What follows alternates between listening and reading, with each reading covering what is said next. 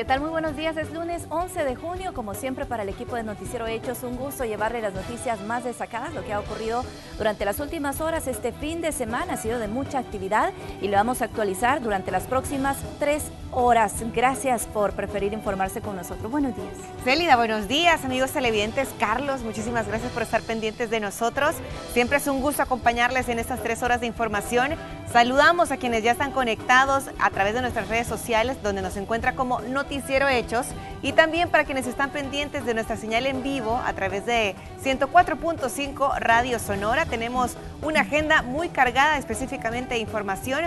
Hoy en nuestro tema del día estaremos hablando sobre un tema también que genera mucha expectación y que por supuesto pues vamos a hablar sobre el deportista, la historia sobre un deportista nacional que dejó pues hace ya mucho tiempo el deporte, hace más de siete décadas.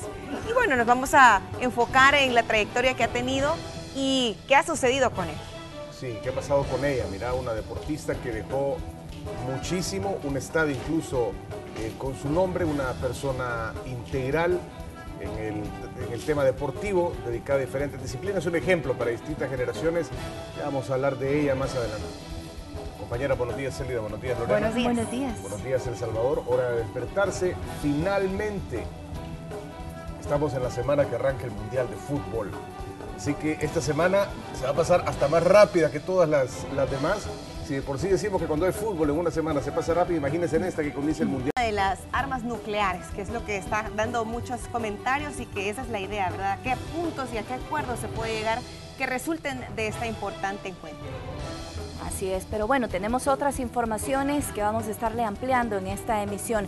Esta madrugada finalizó la audiencia inicial en el caso saqueo público. Esto que ha dado mucho de que, de que hablar desde el viernes pasado. Fueron al menos 16 horas en las que comparecieron ante la justicia seis de los 32 imputados vinculados a actos de corrupción durante la gestión del expresidente Mauricio Funes, el periodista Antonio Valladares ha dado cobertura a esta amplia jornada y nos tiene más información desde el centro judicial. Adelante, Antonio, te escuchamos. Buen día. Buenos días, un verdadero gusto saludarles la mañana de este lunes, comentarles que la audiencia inicial en el caso denominado saqueo público se mantuvo durante 16 horas con 13 minutos, para ser exactos, inició en la mañana del día domingo y se mantuvo hasta esta madrugada. Precisamente son 32 personas las señaladas de diferentes delitos entre los que se encuentran peculado, lavado de dinero, casos especiales de lavado de dinero y activos y además casos especiales de encubrimiento. Pero les hemos preparado un informe completo para que usted conozca todo lo que sucedió durante esta maratónica jornada. Veamos. con la presencia de seis de los 32 señalados por Fiscalía de colaborar y beneficiarse con fondos del Estado, se instaló la audiencia inicial del caso denominado saqueo público, que involucra, según acusación, a un círculo cerrado de amigos y familiares del expresidente de la República, Mauricio Funes. Pese a que no todos han sido detenidos, 26 ya cuentan con defensa técnica. Los demás aún no han asignado un representante legal. En el caso de las personas que se encuentran ausentes, el juez de la causa va a resolver con la vista del requerimiento posteriormente. Entre los que aún no cuentan con defensa en la ventilación de este caso figuran los hijos, el exmandatario Mauricio Funes y su compañera de vida, quienes se encuentran asilados desde septiembre del año 2016 en Nicaragua. Contra el expresidente se emitió alerta azul en Interpol. El Ministerio Público solicitó ante los tribunales reserva parcial, asegurando que es debido a que el caso continúe en investigación. El nombre de la ex primera dama de la República y actual secretaria de Inclusión Social, Banda Pignato, también sale a relucir entre las acusadas, pero hacia ella no se ha emitido orden de captura. Su representante legal dice que se debe a que presenta complicaciones en su cuadro clínico. Ha tenido un quebranto de salud que efectivamente la incapacita para estar este día acá con nosotros. Sin embargo, como ya dije, pues como siempre ella está dispuesta no solo a comparecer a cualquier requerimiento que se le haga, sino que a responder también a las preguntas que eh, se tenga dentro del proceso. Representantes de otros imputados dicen que esta acción va en contra de las normas. A su criterio, todos deben ser medidos con la misma balanza. Yo debo decirlo a luz, ¿verdad? Todos somos iguales ante la norma. Todos debemos, dice la norma, no lo digo yo, dice a través del principio de igualdad de las partes, todos tenemos que ser tratados y procesados de la misma forma. Para todos los demás señalados, el Ministerio Público pide prisión, pero Manuel Chacón, abogado defensor de Miguel Menéndez, quien es considerado uno de los hombres de confianza de Mauricio Funes y expresidente de CIFCO, la petición de que la secretaria de Inclusión Social continúe la ventilación del caso en libertad no es descabellada. Dice que es la base para afirmar que se debe decretar medidas sustitutivas a la detención para todos los supuestos implicados. Dice contar con todos los arraigos necesarios para lograr ese objetivo. Es que, es que el peligro de fuga no se puede evaluar a partir del poder o el no poder, económico o político porque también pudiéramos decir lo, contrario, que la señora Banda Pinato tiene poder político y se puede ir del país, porque además ella es naturalizada incluso. Y no es cierto, que se ha sometido al proceso. La supuesta red que según Fiscalía habría beneficiado a algunos allegados a Mauricio Funes extrajo, según la acusación, dinero proveniente de sobrantes de otras instituciones públicas hacia la denominada partida secreta, pasando por alto la prohibición de la Sala de lo Constitucional emitida en el año 2010 el Ministerio Público dice que todos los imputados deben pasar a la fase de instrucción guardando prisión. Bien, esta es parte de la información que tenemos a esta hora de la mañana. Cabe mencionar que el juez Quinto de Paz aseguró que a las 3 de la tarde se dará a conocer el fallo y ahí será donde tendremos claridad si los involucrados pasarán a la fase de instrucción guardando prisión o tendrán medidas sustitutivas. Nosotros, por supuesto, nos mantendremos pendientes de este caso y le continuaremos eh, dando más reportes en nuestras emisiones de Noticiero Hechos. Por el momento, compañeros, con esto retorno la señal hasta el set principal. Feliz día. Bien, gracias Antonio. No solo si van a eh, estar en, libertad o no en la fase de instrucción, sino si habrá instrucción también, porque puede ser que hasta, ahí llegue. hasta ahí llegue todo, pero pues la mayoría de casos sí se va a instrucción, hay un periodo de investigación y aunque no hay una orden de extradición justamente para el expresidente eh, Mauricio Funes, quien continúa asilado en Nicaragua y que ha sido un tema eh, eh, sobre el cual ha enfatizado muchísimo. Pues bueno, a pesar de que no existe esta orden en contra del expresidente Funes, quien como le mencionaba se encuentra en este país centroamericano, la Fiscalía General de la República ya hizo algunos trámites al respecto, es decir, comenzó a adelantar el trabajo. Y así se solicitó como una, como una diligencia necesaria, se ha solicitado. La Fiscalía General de la República solicitó al juzgado Quinto de Paz tramitar la extradición del expresidente Mauricio Funes, quien goza de asilo político en Nicaragua. Sin embargo, el fiscal Douglas Meléndez dice que se debe esperar a que el juez resuelva sobre los seis imputados detenidos. Cinco días después lo hará con los implicados ausentes. Ese es el procedimiento. El juez resuelve en cuanto a los imputados que fueron detenidos por la policía. Posteriormente tendrá previas notificaciones a los ausentes, cinco días para resolver en cuanto a los imputados que no fueron capturados, o sea, los ausentes, ¿verdad? A continuación, si hay una, una resolución en contra de estas personas ausentes, es donde la Fiscalía reitera ya la solicitud correspondiente de cualquier persona que esté ausente, que sea requerida fuera del país. Después, Corte Plena será quien decida si procede o no la solicitud de extradición del exmandatario, teniendo en consideración su calidad de asilado. Corte Plena es la que en todo caso tendría que decidir si procede o no la extradición, si la solicita el juez al que le ha presentado el requerimiento fiscal eh, el señor fiscal. Bueno, habría que ver si se solicita y la condición que él tiene ya de asilo, ¿verdad? Es decir, todo eso tendría que verse, pero más que todo en este momento tendría que ser, al darse una orden o una discusión roja, tendría que ser la Interpol y allá en Nicaragua pueden ver cuál es la condición de él. El asilo y refugio son figuras jurídicas internacionales para brindar protección humanitaria a personas que tienen temor fundado de persecución según el Estatuto de Naciones Unidas sobre Refugiados. El magistrado Meléndez sostiene que en términos generales las personas que salen huyendo de un país porque las persigue la justicia penal no tienen derecho a asilo. Se les tiene que perseguir y se les tiene que extraditar y se les tiene que juzgar. El asilo o refugio, dependiendo de la figura que se aplique, es para personas que tienen temor fundado de persecución ilegítima, ilegal. La persecución que hace un juez de lo penal cuando dicta una orden de captura no es ilegal, todo lo contrario. Por el momento, el exmandatario continúa viviendo en Nicaragua, mientras que el resto de implicados tienen hasta este domingo para conocer los cargos en su contra. La Fiscalía no descarta que algunos ya estén fuera del país. Con imágenes de Gonzalo Tejada, informó para Noticiero Hechos Kelly Abrego. Y sobre este tema, los salvadoreños siguen exigiendo a las autoridades celeridad y sobre todo justicia conozcamos la opinión de la población. Veamos. Pasa es que todos se, la, todos se rasgan las vestiduras y todos los que salen hablando de transparencia, parece que recibieron sueldo.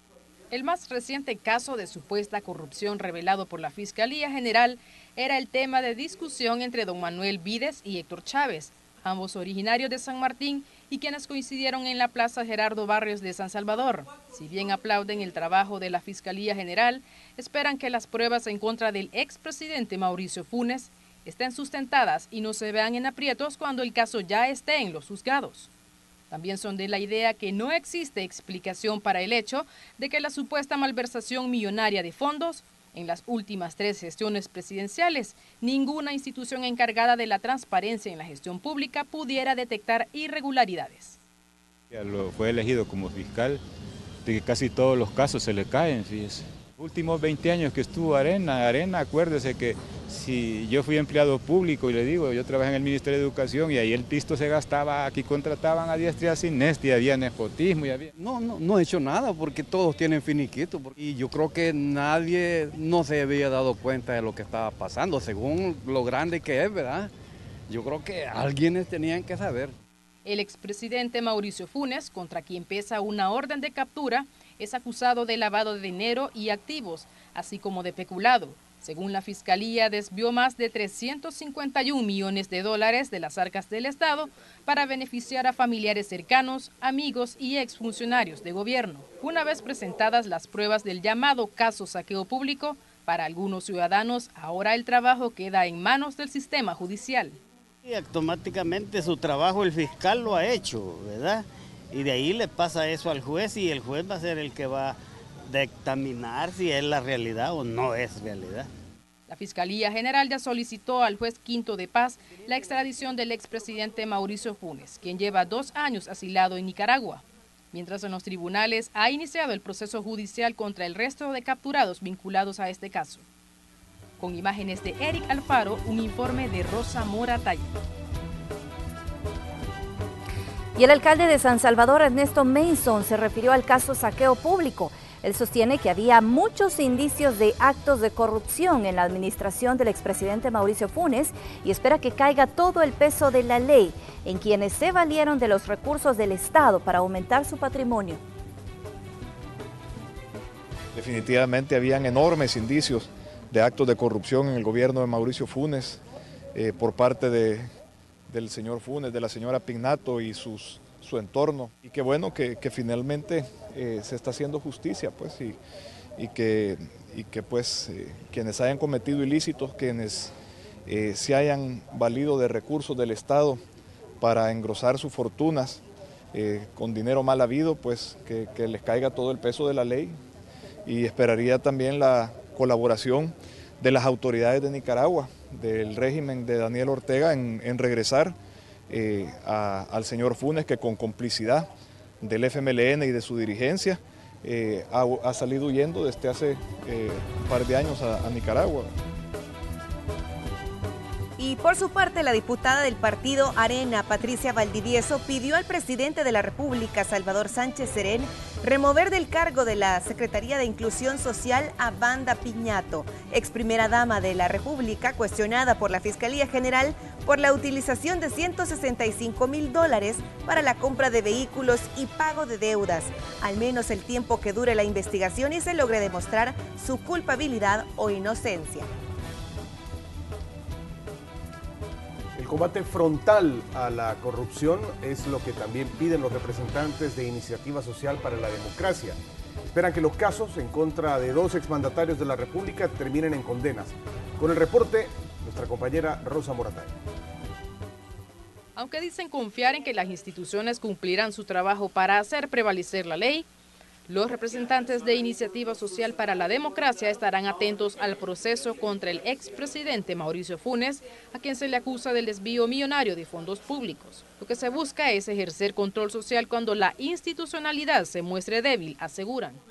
Continuará con la implementación de la veeduría judicial a efecto de ejercer control social al desempeño de la Fiscalía General de la República y del sistema judicial de encontrar indicios de una actuación que ponga en riesgo la efectiva aplicación de la investigación y justicia, ISD valorará solicitar a las autoridades correspondientes la autorización para poder intervenir como querellantes. Para esta organización, los casos de supuesta corrupción detectados en los últimos tres gobiernos han seguido un patrón institucionalizado sobre el uso de fondos públicos en casa presidencial. Por ello, cuestionan el trabajo realizado por la Corte de Cuentas de la República, ente encargado de fiscalizar el buen uso de los fondos públicos. Por lo menos el tema de verificar las el manejo de las partidas y los gastos discrecionales en casa presidencial, como ya lo señalaba la Sala de lo Constitucional, no hay ningún gasto ni ningún rubro que deba de quedar sin la, sin la debida verificación de las instituciones. Y nos parece muy preocupante que la Corte de Cuentas en los últimos 20, 25 años no haya denotado ninguna situación irregular en el manejo de las cuentas que desde Casa Presidencial se estaban realizando. Si bien aprueban el trabajo de la Fiscalía en la persecución del flagelo de la corrupción, temen que un posible manejo mediático institucional de la investigación ponga en riesgo la seriedad y contundencia que el caso amerita, sostienen. Con imágenes de Eric Alfaro, un informe de Rosa Moratalla. Bueno, llegamos hasta esta parte del noticiero con este tema, pero más adelante nuestra compañera Celida Magaña dará continuidad al mismo en la entrevista, un espacio que se le va a dedicar esta mañana para hablar de este caso que ha acaparado la atención de todos desde el pasado viernes. Ahí están los invitados que tendrá hoy nuestra compañera Celida Magaña, el doctor Roberto Rubio, el doctor Jorge Martínez, el análisis caso saqueo público hoy a partir de las 6.30 de la mañana en la entrevista. Así es, un tema para que se mantenga pendiente, se le dará análisis y seguramente pues esto vamos a continuar muy pendientes en lo que queda de las semanas y lo que viene del proceso judicial estamos dándole seguimiento de qué es lo que ha sucedido durante el fin de semana. Sin duda, un caso que ha acaparado la atención de los medios de comunicación desde el pasado viernes que se empezaron a conocer los datos. Hoy tendremos un análisis, así que desde ya le hacemos la invitación para que se quede con nosotros. Le recordamos que la entrevista inicia a las 6.30 de la mañana. Excelente. Y también damos eh, paso a algunos de los titulares que han generado muchísimas expectativas y sobre todo eh, hablamos de las actividades que buscan disminuir las víctimas de los accidentes de tránsito. Continúan en el país. Una multitudinaria caminata se desarrolló para promover la cultura vial. También le contamos que la alcaldía de San Salvador celebró junto a comerciantes el 44 aniversario del mercado San Miguelito. Y también autoridades de protección civil han emitido un aviso por incremento de oleaje en las costas salvadoreñas. Ya le contamos los detalles. Pendientes de esta información de toda la que vamos a comentar a continuación en los siguientes minutos hasta las 8.30 de la mañana. Nuestros equipos están comenzando a desplazarse también, por eso en pantalla mira usted a mi, bueno, a mi derecha, sería la izquierda en su pantalla, nuestro estimado Enrique López. Del otro lado, Crisia Recinos también, quien eh, tiene información desde muy temprano. Los dos ya en su jornada eh, de trabajo para Noticiero Hechos. Vamos a comenzar entonces con Enrique López. Quique, adelante.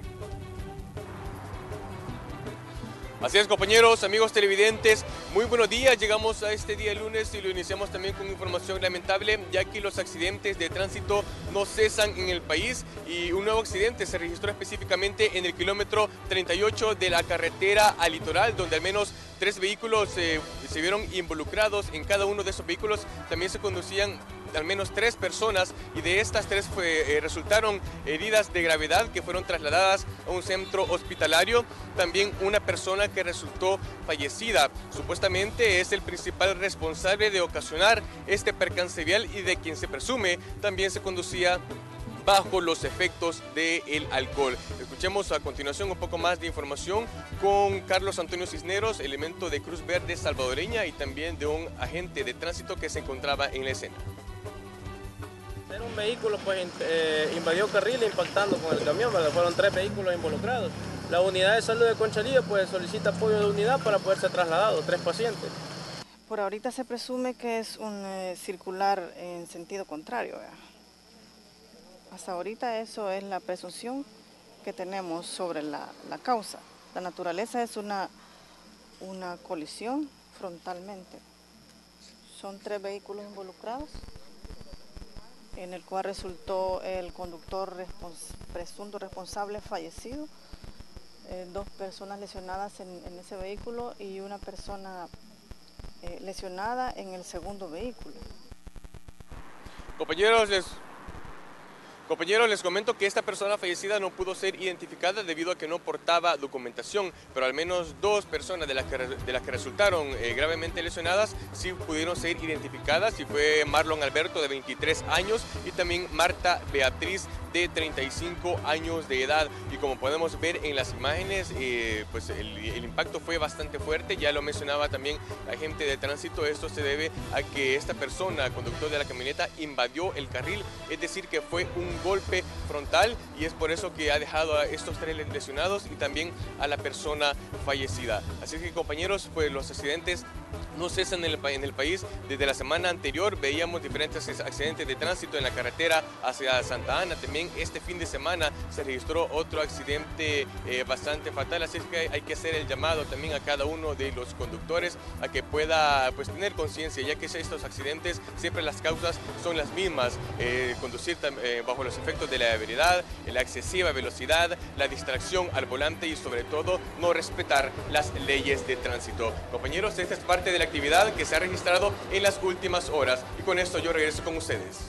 Para todas las imágenes, Enrique, del accidente y de cómo terminó esta camioneta que habría invadido el carril contrario. Vamos a mantenernos pendientes de tus reportes más adelante. Quique, gracias. Saludamos también a Crisia Recinos, quien está lista y supongo que está contenta porque ganó Sebastián Fettel en la Fórmula 1, hablando de automovilismo y demás. Crisia Recinos, adelante, buenos días.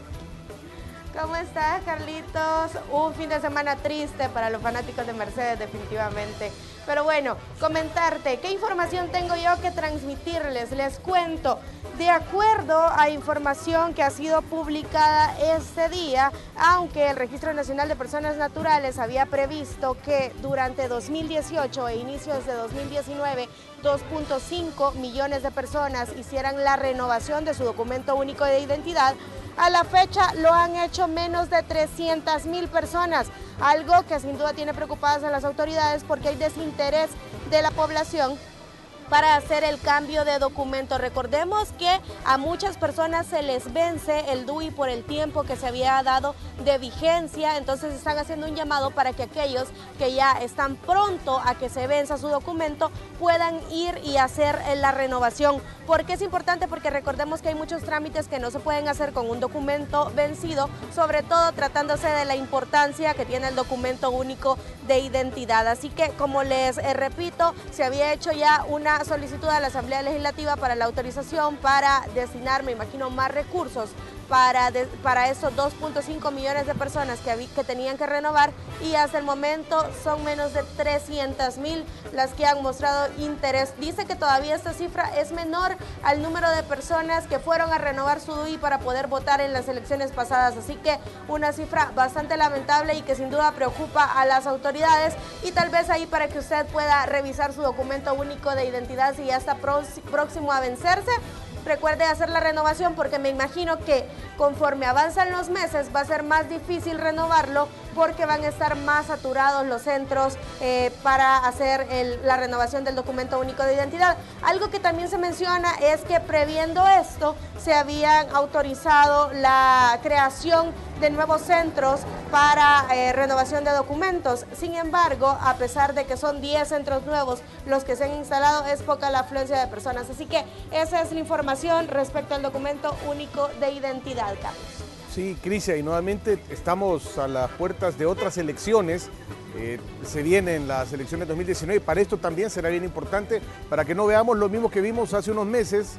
Eh, te, acordás? Justo antes de la elección, los dubicentros llenos con el tema de cambio de domicilio y, muchas otras cosas que habrá que ir viendo también. Ahora no importará tanto el domicilio en esta elección, ¿no? Pero finalmente sí tener el DUI eh, bien. Sí, es importante por eso eh, lo, que tú dices, Carlos, poder hacer la renovación antes y evitarnos no solo las largas colas, el proceso, sino que también eh, los retrasos que le generamos al resto de personas que sí llegan a renovar su documento cuando les toca. Así que importante eso, hacer la renovación a tiempo. Crisia, muchas gracias. Quique, muchas gracias. También vamos a regresar contigo eh, más adelante, pendiente de los reportes de Enrique López y de Crisia Resino, nuestros compañeros que pues, ya están en el terreno, ya están listos con sus reportes y dando eh, pues, cumplimiento a su guion, a su pauta, a su cobertura para este día.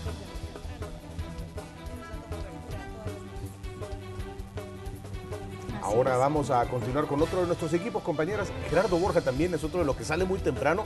Cuando entramos aquí a la estación ya está listo en su motocicleta para eh, darle eh, seguimiento a lo que, bueno, a las denuncias ciudadanas, al tráfico. Gerardo literalmente persigue la noticia y está encima de eso. Gerardo, ¿no es así? Buenos días, adelante.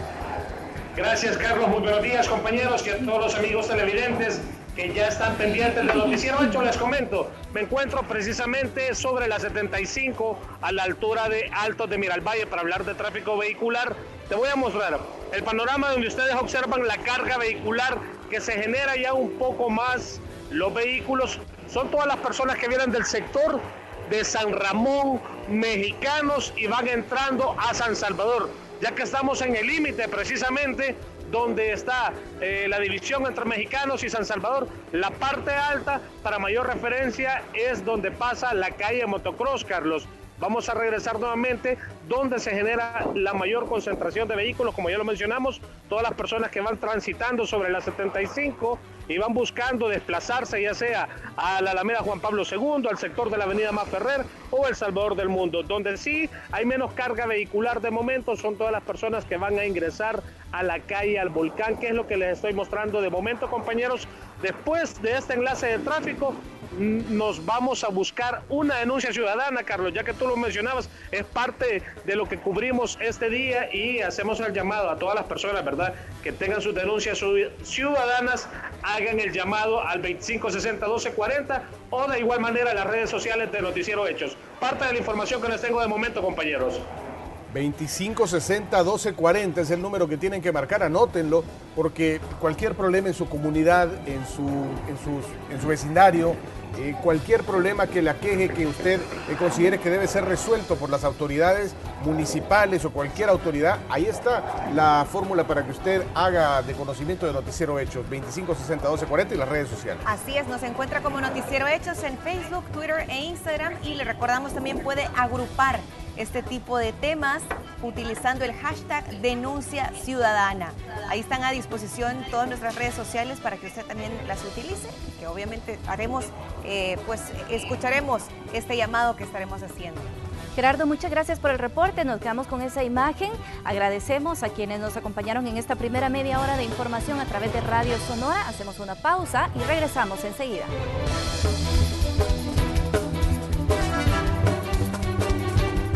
Tres, lo predominante. tres eventos que nos dan para tener bastante material. Mucho de qué hablar, sin duda, así es. Muchísimo. Pero bueno, regresamos a lo que ocurre acá en el territorio salvadoreño para contarle que el alcalde de San Salvador, Ernesto Mason, celebró junto a comerciantes el 44 aniversario del mercado San Miguelito.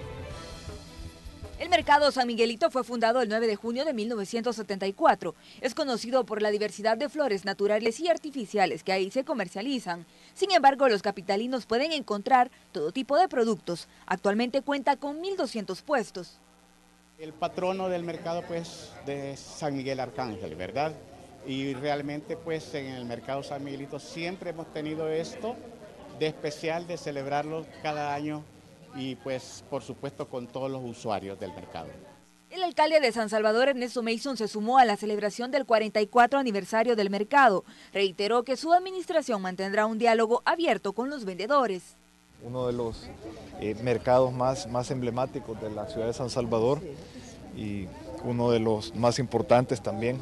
Y tenemos un proyecto para, para este mercado San Miguelito que, esperamos eh, pronto poderlo echar a andar, donde vamos a ampliar el estacionamiento de manera significativa y donde vamos a modernizar el mercado para generar un, mejor ambiente. Doña Marta tiene 27 años de vender en este lugar. Dice que la reparación del techo del mercado es uno de los problemas que deben ser atendidos con urgencia. Ve como aquí hay, hay un techo colapsado. Esperamos que este alcalde sí resuelva ese problema, porque se ha planteado ante los anteriores y nadie ha hecho nada. Entonces esperamos ahora que, que sí, de verdad, se solucione este problema. San Salvador cuenta con 23 mercados. Con el objetivo de fortalecer el comercio, el edil capitalino ha incluido en su plan de trabajo la creación de otros dos mercados. Con imágenes de Gonzalo Tejada informó para Noticiero Hechos Kelly Abrego. Y también le informamos que diferentes centros educativos participaron en una marcha ecológica en el municipio de Apopa. Nuestro aliado Canal 57 tiene los detalles. Al ritmo de banda de paz y sus bellas cachiporristas batucadas estudiantiles, coloridas carrozas con alusión al medio ambiente, niños y niñas con disfraces de animales silvestres y las autoridades municipales en Apopa realizaron este día un colorido desfile con el tema de cuidar la flora y la fauna del municipio de Apopa. Así lo expresa el edil Santiago Zelaya. Estamos en este momento celebrando pues el Día del Medio Ambiente. Tenemos la oportunidad de poder ser uno de los municipios más limpios, acostumbrar a los niños en las escuelas, los padres de familia, que puedan ellos darle la cultura de la limpieza, que no tiren la basura pues al suelo, ¿verdad? Los maestros y maestras que participaron con sus estudiantes aseguran también es una materia de incluir a las nuevas generaciones, el cuidado del único hogar del ser humano, la tierra. Bueno, como nosotros como educadores siempre le hemos dicho a los niños que hay que cuidar el medio ambiente, ¿verdad? ¿Por qué? Porque ellos son los que nos generan vida, nos dan vida a los árboles, eh, la naturaleza, los animalitos nos ayudan también al ecosistema. Entonces, los niños y niñas también participan en esta actividad con sus trajes y vestidos. Muy lindo, la verdad. Me gusta reciclar mucho con esta bolsa de papel. El sector comercio de la localidad que trabaja con productos artesanales y propios del país también es de rearse en las actividades del municipio de Apopa. Eh, es un producto o una bebida ancestral de nuestros antepasados, lo han dejado más que todo es curativo. Lo que yo estoy enfocándome es para curar a las personas porque son frutas 100% naturales y 100% salvadoreñas. El municipio de Apopa busca incentivar a las personas y así poder tener mejores resultados para que lo visiten y disfrutar de cada una de estas actividades que se realiza el fin de semana. Con imágenes de José Vanegas, Aldair Tadeo, desde Canal 57 bueno, una labor que merece toda la cobertura y toda la promoción por el emprendedurismo de estas personas eh, que sacan adelante eh, cada vez más a su municipio en conjunto a través de estas actividades. En más información, Cruz Roja Salvadoreña también realizó una jornada de donación de sangre con el apoyo del club de fans, escuche bien, de la Guerra de las Galaxias, de Star Wars. Veamos.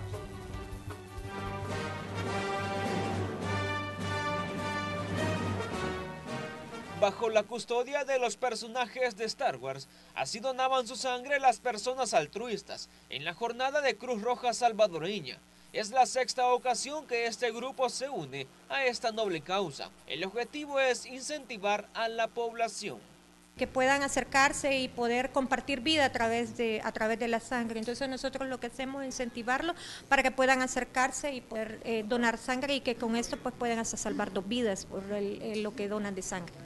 Donar sangre puede tardar tan solo unos minutos. Aparte de ayudar a las otras personas, también sirve para conocer si uno tiene algún padecimiento. Hay quienes ya lo han hecho en varias ocasiones y otros como Javier es la primera vez que se presentan a Cruz Roja. La verdad es que yo creo que es algo que todos podemos hacer, ¿verdad? Y hay que colaborar con, los que necesitan. Creo que esa es una forma de, de demostrar que al final todos somos hermanos en este país, ¿verdad? Y ayudamos a los que necesitan. Cuando uno se encuentra en una situación en la que es difícil encontrar sangre, cuando tiene un familiar, entonces se da cuenta de la importancia que es el, donar sangre y más cuando hay personas que tal vez les es difícil. Entonces, en estas instituciones entonces es fácil venir a donar. De momento, el banco de sangre de este cuerpo de socorro se encuentra al 60%, pero hay que estar preparado para cualquier emergencia, dice don Carlos López Mendoza, quien además explicó los requisitos. Puede venir ya desayunado. También peso mínimo 110 libras, eh, edad máxima 65 años y lo mejor tener el deseo de poder salvar una vida. Si usted no pudo asistir este fin de semana a donar sangre, lo puede hacer de lunes a viernes de 7 de la mañana a 3 de la tarde y sábados hasta el mediodía en las instalaciones de Cruz Roja. Con imágenes de Eric Alfaro, Raúl Hernández, Noticiero Hechos. Y una carrera para promover la cultura vial se desarrolló este fin de semana. El objetivo es disminuir las víctimas de los accidentes de tránsito.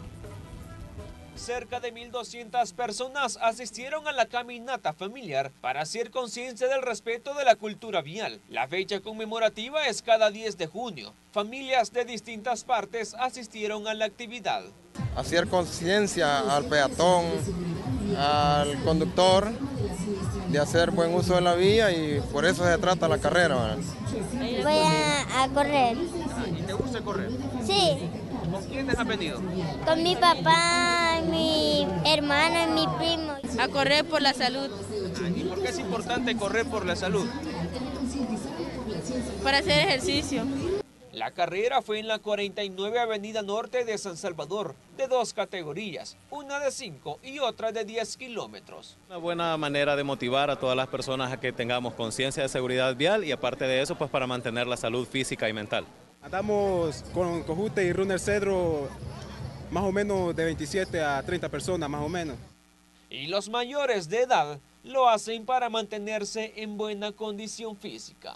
Participando como grupo Master Runner, que somos, somos gente de 40 años hacia arriba, que corremos en las diferentes carreras que hay en el país. Conciencia.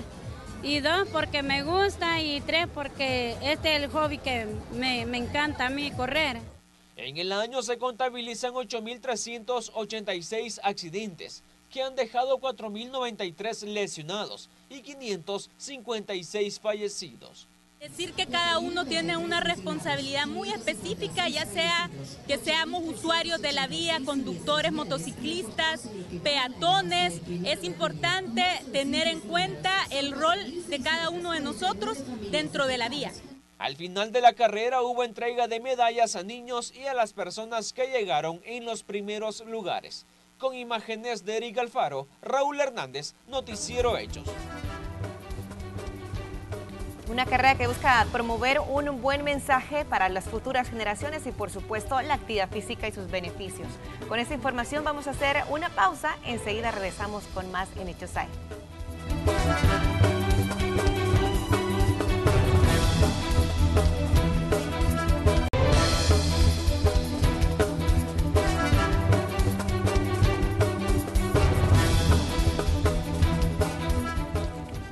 Las 6 de la mañana con 20 minutos. Gracias por continuar informándose con nosotros. De inmediato nos enlazamos con uno de nuestros equipos que nos comparte información. Enrique López, adelante, buen día. Muchas gracias compañeros. Eh, tengo información del tráfico vehicular y por favor usted, amigo televidente, si usted viene desde la zona de los municipios de Mexicanos, Ayutuxtepeque o de la colonia Sacamil y su principal vía de tránsito es la avenida Bernal, pues tiene que salir lo antes posible ya que el tráfico en este sector se empieza a complicar y esto lo dejo en evidencia con las siguientes imágenes. Pueden ustedes ver, compañeros, amigos televidentes, en el carril que va específicamente hacia la zona sur de la capital, desde ese sector ya se encuentra complicado. Y es que desde la calle Alazacamil hasta la calle San Antonio Abad es lo que pues dura toda esta fila de conductores sobre la avenida Bernal fuerte congestionamiento a esta hora de la mañana, también muchas unidades del transporte colectivo, estamos hablando de la ruta 30 y la ruta 30B, también las paradas de buses. Por momentos, hay muchas personas que están esperando abordar esas unidades de transporte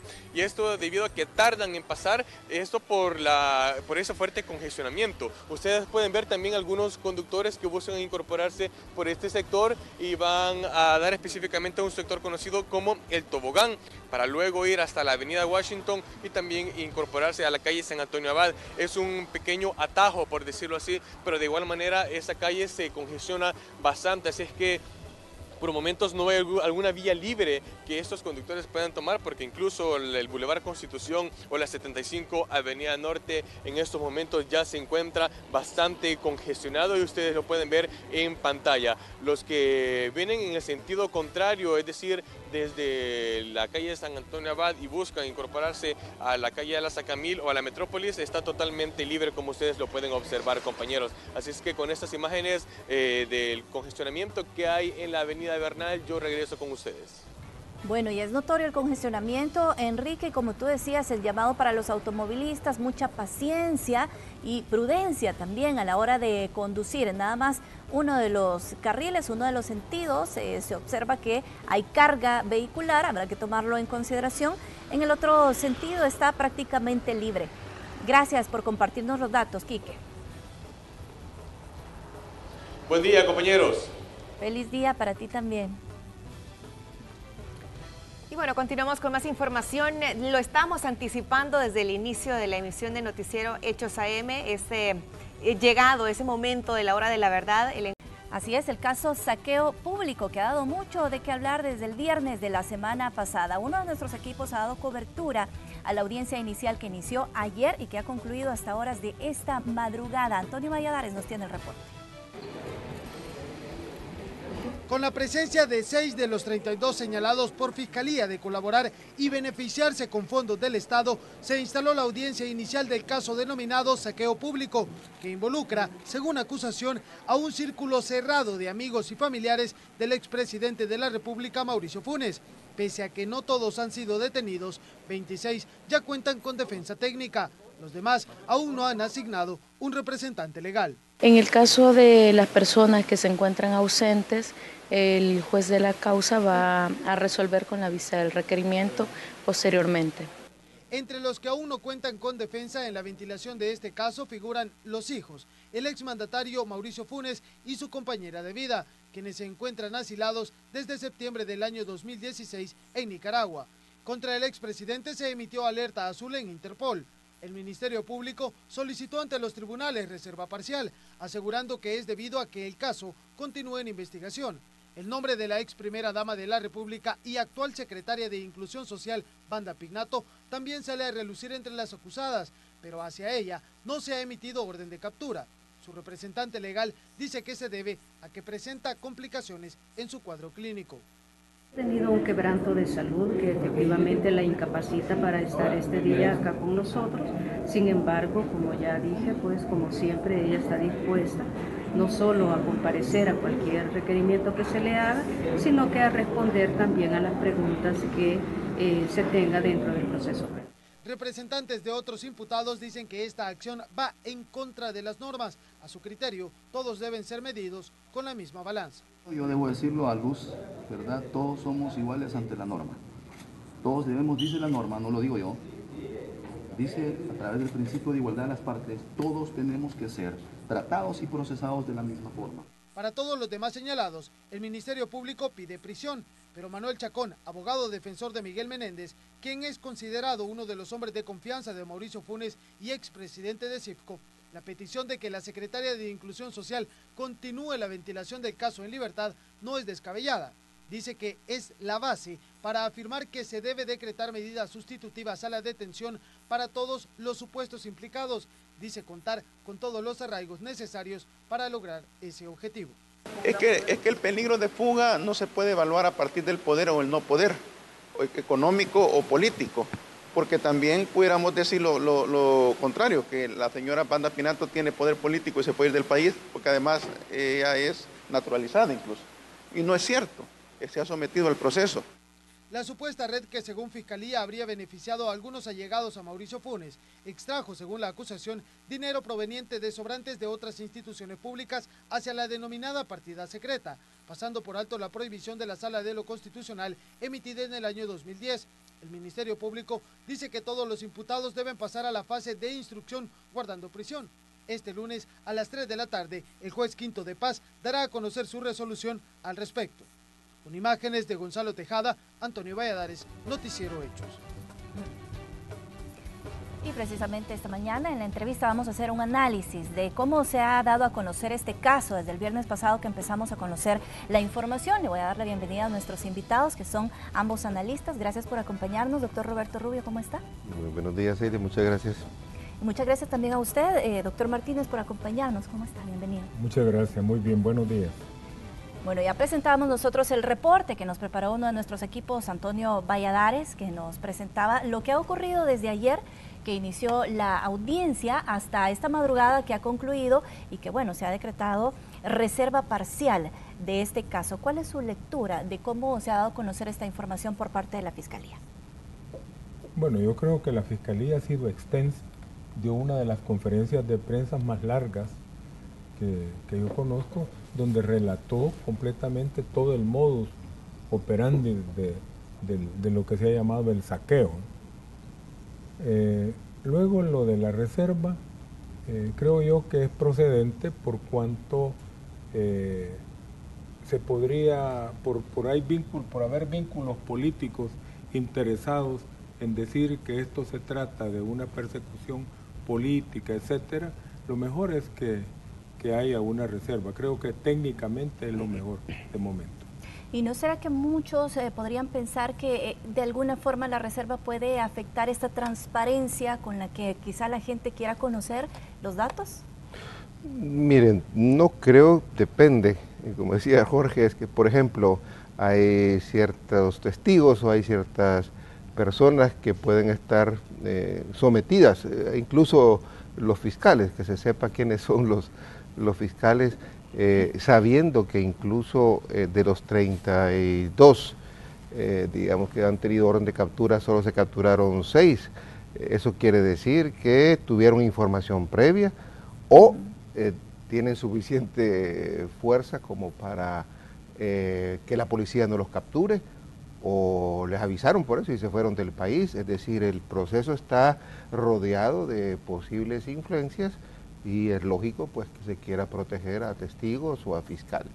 Ahora, el principal implicado en este caso ha seguido emitiendo su postura a través de su cuenta personal de Twitter. Él asegura que el caso se destapó hasta dos años después de haber iniciado con esta investigación y también previo a una posible reelección del actual fiscal general de la República. De hecho, según Funes, se trata esto de una acción oportunista y que carece de peso. Bueno, el peso de la acusación se va a demostrar en el proceso si existen los hechos y si existen las pruebas. Y eso es lo que se está determinando. Ya este, la acción del fiscal, digamos, en principio ha sido avalada por el juez, porque el juez en esta audiencia bien pudo decir, miren, no hay pruebas y, ni hay delito, entonces todos salgan libres.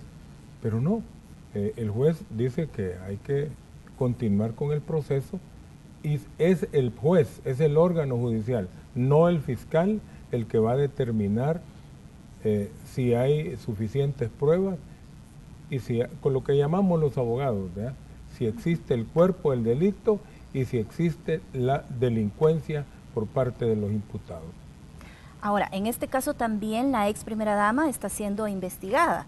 De hecho, hay una petición por parte de la diputada Patricia Valdivieso de que ella sea retirada en este momento de su actual función como secretaria de Inclusión Social. ¿Debería ser atendida esta petición? Creo que sí, cuando hay procesos de investigación y alguien detenta un, cargo para que no pueda aprovecharse del cargo para incidir en el, en el proceso, es, está bien. Para que el caso de ella, entiendo, es porque hay un quebranto de salud, como veíamos, ¿no? Eh, y, pero está haciendo parte del, proceso, es, procesada. Yo lo que quisiera eh, también referirme a las declaraciones del, expresidente, y es que yo me recuerdo que muchos desde hace meses atrás venían diciendo, eh, miren, esto es un show, porque se acuerda que llegó el fiscal y llegaron la policía a la casa de Mauricio Funes, encontraron aquellos eh, zapatos caros, armas, etcétera, ¿no? Y después no pasó nada y hubo como un silencio y muchos se preguntaban, bueno, ¿y, y, por qué tanto tiempo? Y ya, ya, pasó, el caso se cayó, ah, estaban muchos comiendo ansias de que eh, había sido puro show. Pero cuando vemos la cantidad de documentación, vemos la investigación que se ha tenido que hacer de recolección de información tanto dentro como fuera del país, porque hay investigaciones eh, fuera del país, cuando vemos que todo ese volumen de, información ha establecido distintas conexiones eh, y creo que esta es la primera fase, eh, porque así lo digo el fiscal, falta, falta una segunda fase porque de, estos hallazgos se deducen otros, pues eso toma tiempo y sobre todo cuando ha habido quejas sobre, sobre, la fiscalía, sobre el fiscal, de que los casos se le caen. La fiscalía no podía darse el lujo de, de, que un caso tan importante se le cayera por una deficiencia técnica, por una falta de información. Yo creo que eso de la reelección no, no es cierto, al contrario, hasta le puede, eh, le puede perjudicar el hecho de que, eh, digamos, esté actuando con bastante, yo diría, eh, celeridad y con bastante valentía. El, porque a muchos no les conviene un fiscal que sea realmente bueno y más bien eso puede provocar algún temor. Creo que lo contrario, creo que se está actuando con bastante seriedad. Esta investigación es muchísimo más completa, detallada que la que vimos la, en el caso del expresidente Saca. ¿Y a su juicio, doctor, esto favorece o perjudica al actual fiscal? Bueno, indudablemente que, que quienes estaban diciendo en contra del fiscal que no hacía nada y que Funes se iba a salir con la suya. Bueno, ahora al ver lo que dice Roberto, el detalle de, todas las pruebas recabadas, se puede uno entender que el fiscal lo que ha hecho es una investigación responsable, lo cual pues este, el que decide al final es el órgano judicial. Todas estas pruebas pasan a manos del órgano judicial y ahora el órgano judicial es el que va a determinar sobre la inocencia o culpabilidad de los imputados. Ahora, ¿debería en este momento la Fiscalía solicitar a la Corte que proceda con una extradición? Bueno, no se puede. Bueno, creo que ya estando decretada la detención por el órgano judicial, sí ya procede. Pero no creo que... Es decir, si hoy en la tarde, se espera que a eso de las 3 de la tarde ya estén eh, dando los resultados de esta audiencia inicial, que de momento solo estamos suponiendo, a partir de ese momento podría ya iniciar un proceso. Bueno, si hay una orden judicial que ordene la detención de los imputados, sí se puede iniciar. Lo difícil será que, el gobierno de Nicaragua eh, acepte eh, esa petición del gobierno salvadoreño. Eso es lo difícil en las actuales circunstancias. O no sé si por las mismas circunstancias, ya que en Nicaragua mismo eh, se critica al, presidente Ortega y a su esposa por estar eh, dándole resguardo al expresidente Funes, o a lo mejor eso puede ser también una razón para que él diga, miren, ahí les mando al expresidente Funes. Sin embargo, esto es algo que eh, solamente lo decide la Corte, en este caso, ¿verdad? Siempre inicia el proceso la Corte. Sí, e, e interviene la Corte e interviene también el Ministerio de Relaciones Exteriores. Así que eh, eso está, está por veremos. Bueno, pareciera también que entre el caso Saca y el actual eh, caso del expresidente Funes hay muchas similitudes en la forma en la que de alguna manera se obtuvo el dinero de las arcas del Estado y posteriormente fue utilizado o malversado, como se le pueda llamar. Podríamos decir que se institucionalizó esto como una práctica? Es, que yo creo que el expresidente Saca descubrió un mecanismo para inflar, digamos, lo que son los gastos reservados a través de lo que se llamaba los gastos imprevistos de las distintas eh, dependencias. Acuérdese también que el presidente Saca eh, se traslapó con el expresidente Funes, de alguna manera vía relación eh, entre ambos. Yo creo que en, esa herencia que le dejó, también le dejó la herencia de cómo hacer las cosas. Eh, me recuerdo que en 2010 más o menos un grupo de, ciudadanos fuimos justamente a la, a la sala de lo constitucional a decir que esta manera de agarrar estos fondos de los distintos ministerios, pasarlos al Ministerio de Hacienda y al Ministerio de Hacienda, pasar a, a la Casa Presidencial, era inconstitucional porque no pasaba por la Asamblea Legislativa y la sala nos dio eh, la razón. Pero eh, ese mecanismo lo usó Funes, si no me recuerdo, por lo menos unos dos años, porque fue en 2010 más o menos que se presentó este, este recurso. Pero eh, había ya ilegalidad antes, es decir, porque estaba empleando el mismo mecanismo que estaba usando Funes. Pero a partir de entonces ya la sala había determinado eh, que eso no se hacía y lo siguieron haciendo. Y, es parecido, es, el uso de esos gastos imprevistos de, distintas dependencias para pasarle una partida, creo que la partida 10 de Hacienda y de Hacienda a, a Capres. Y, no solo hay traspasos, creo, de, formas y de mecanismos, hay traspasos de personas. O sea, hay personas que están involucradas tanto en el caso de Saca como en el caso de, de Funes. Ahora, ¿será que esto inició eh, en el gobierno del expresidente Saca o incluso pudo haber iniciado antes? Bueno, quiero referirme, ya que soy abogado, a la inconstitucionalidad de esas partidas secretas. En el pasado, todavía hasta en, los gobiernos del PCN, lo que había, digamos, era una caja chica, en donde desde la presidencia de la República se le pagaba al servicio de espionaje. O sea, como decían, los orejas van a cobrar a Casa Presidencial. Y la cantidad era de 2 millones de colones para el año. Luego, esas, esas sumas se incrementaron enormemente y de una manera ilegal, inconstitucionalmente porque el diseño constitucional de la Presidencia de la República es una unidad de dirección, no es una unidad de ejecución. Es más, la Presidencia de la República no es cartera de Estado y el presidente solo dirige. Es más, la Constitución dice que el presidente gobierna a través de sus ministros.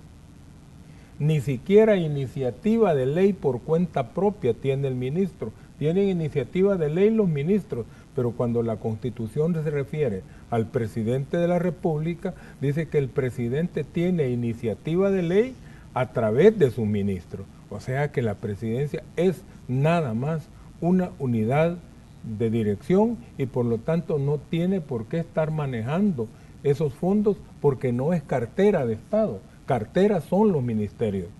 Por lo tanto, eh,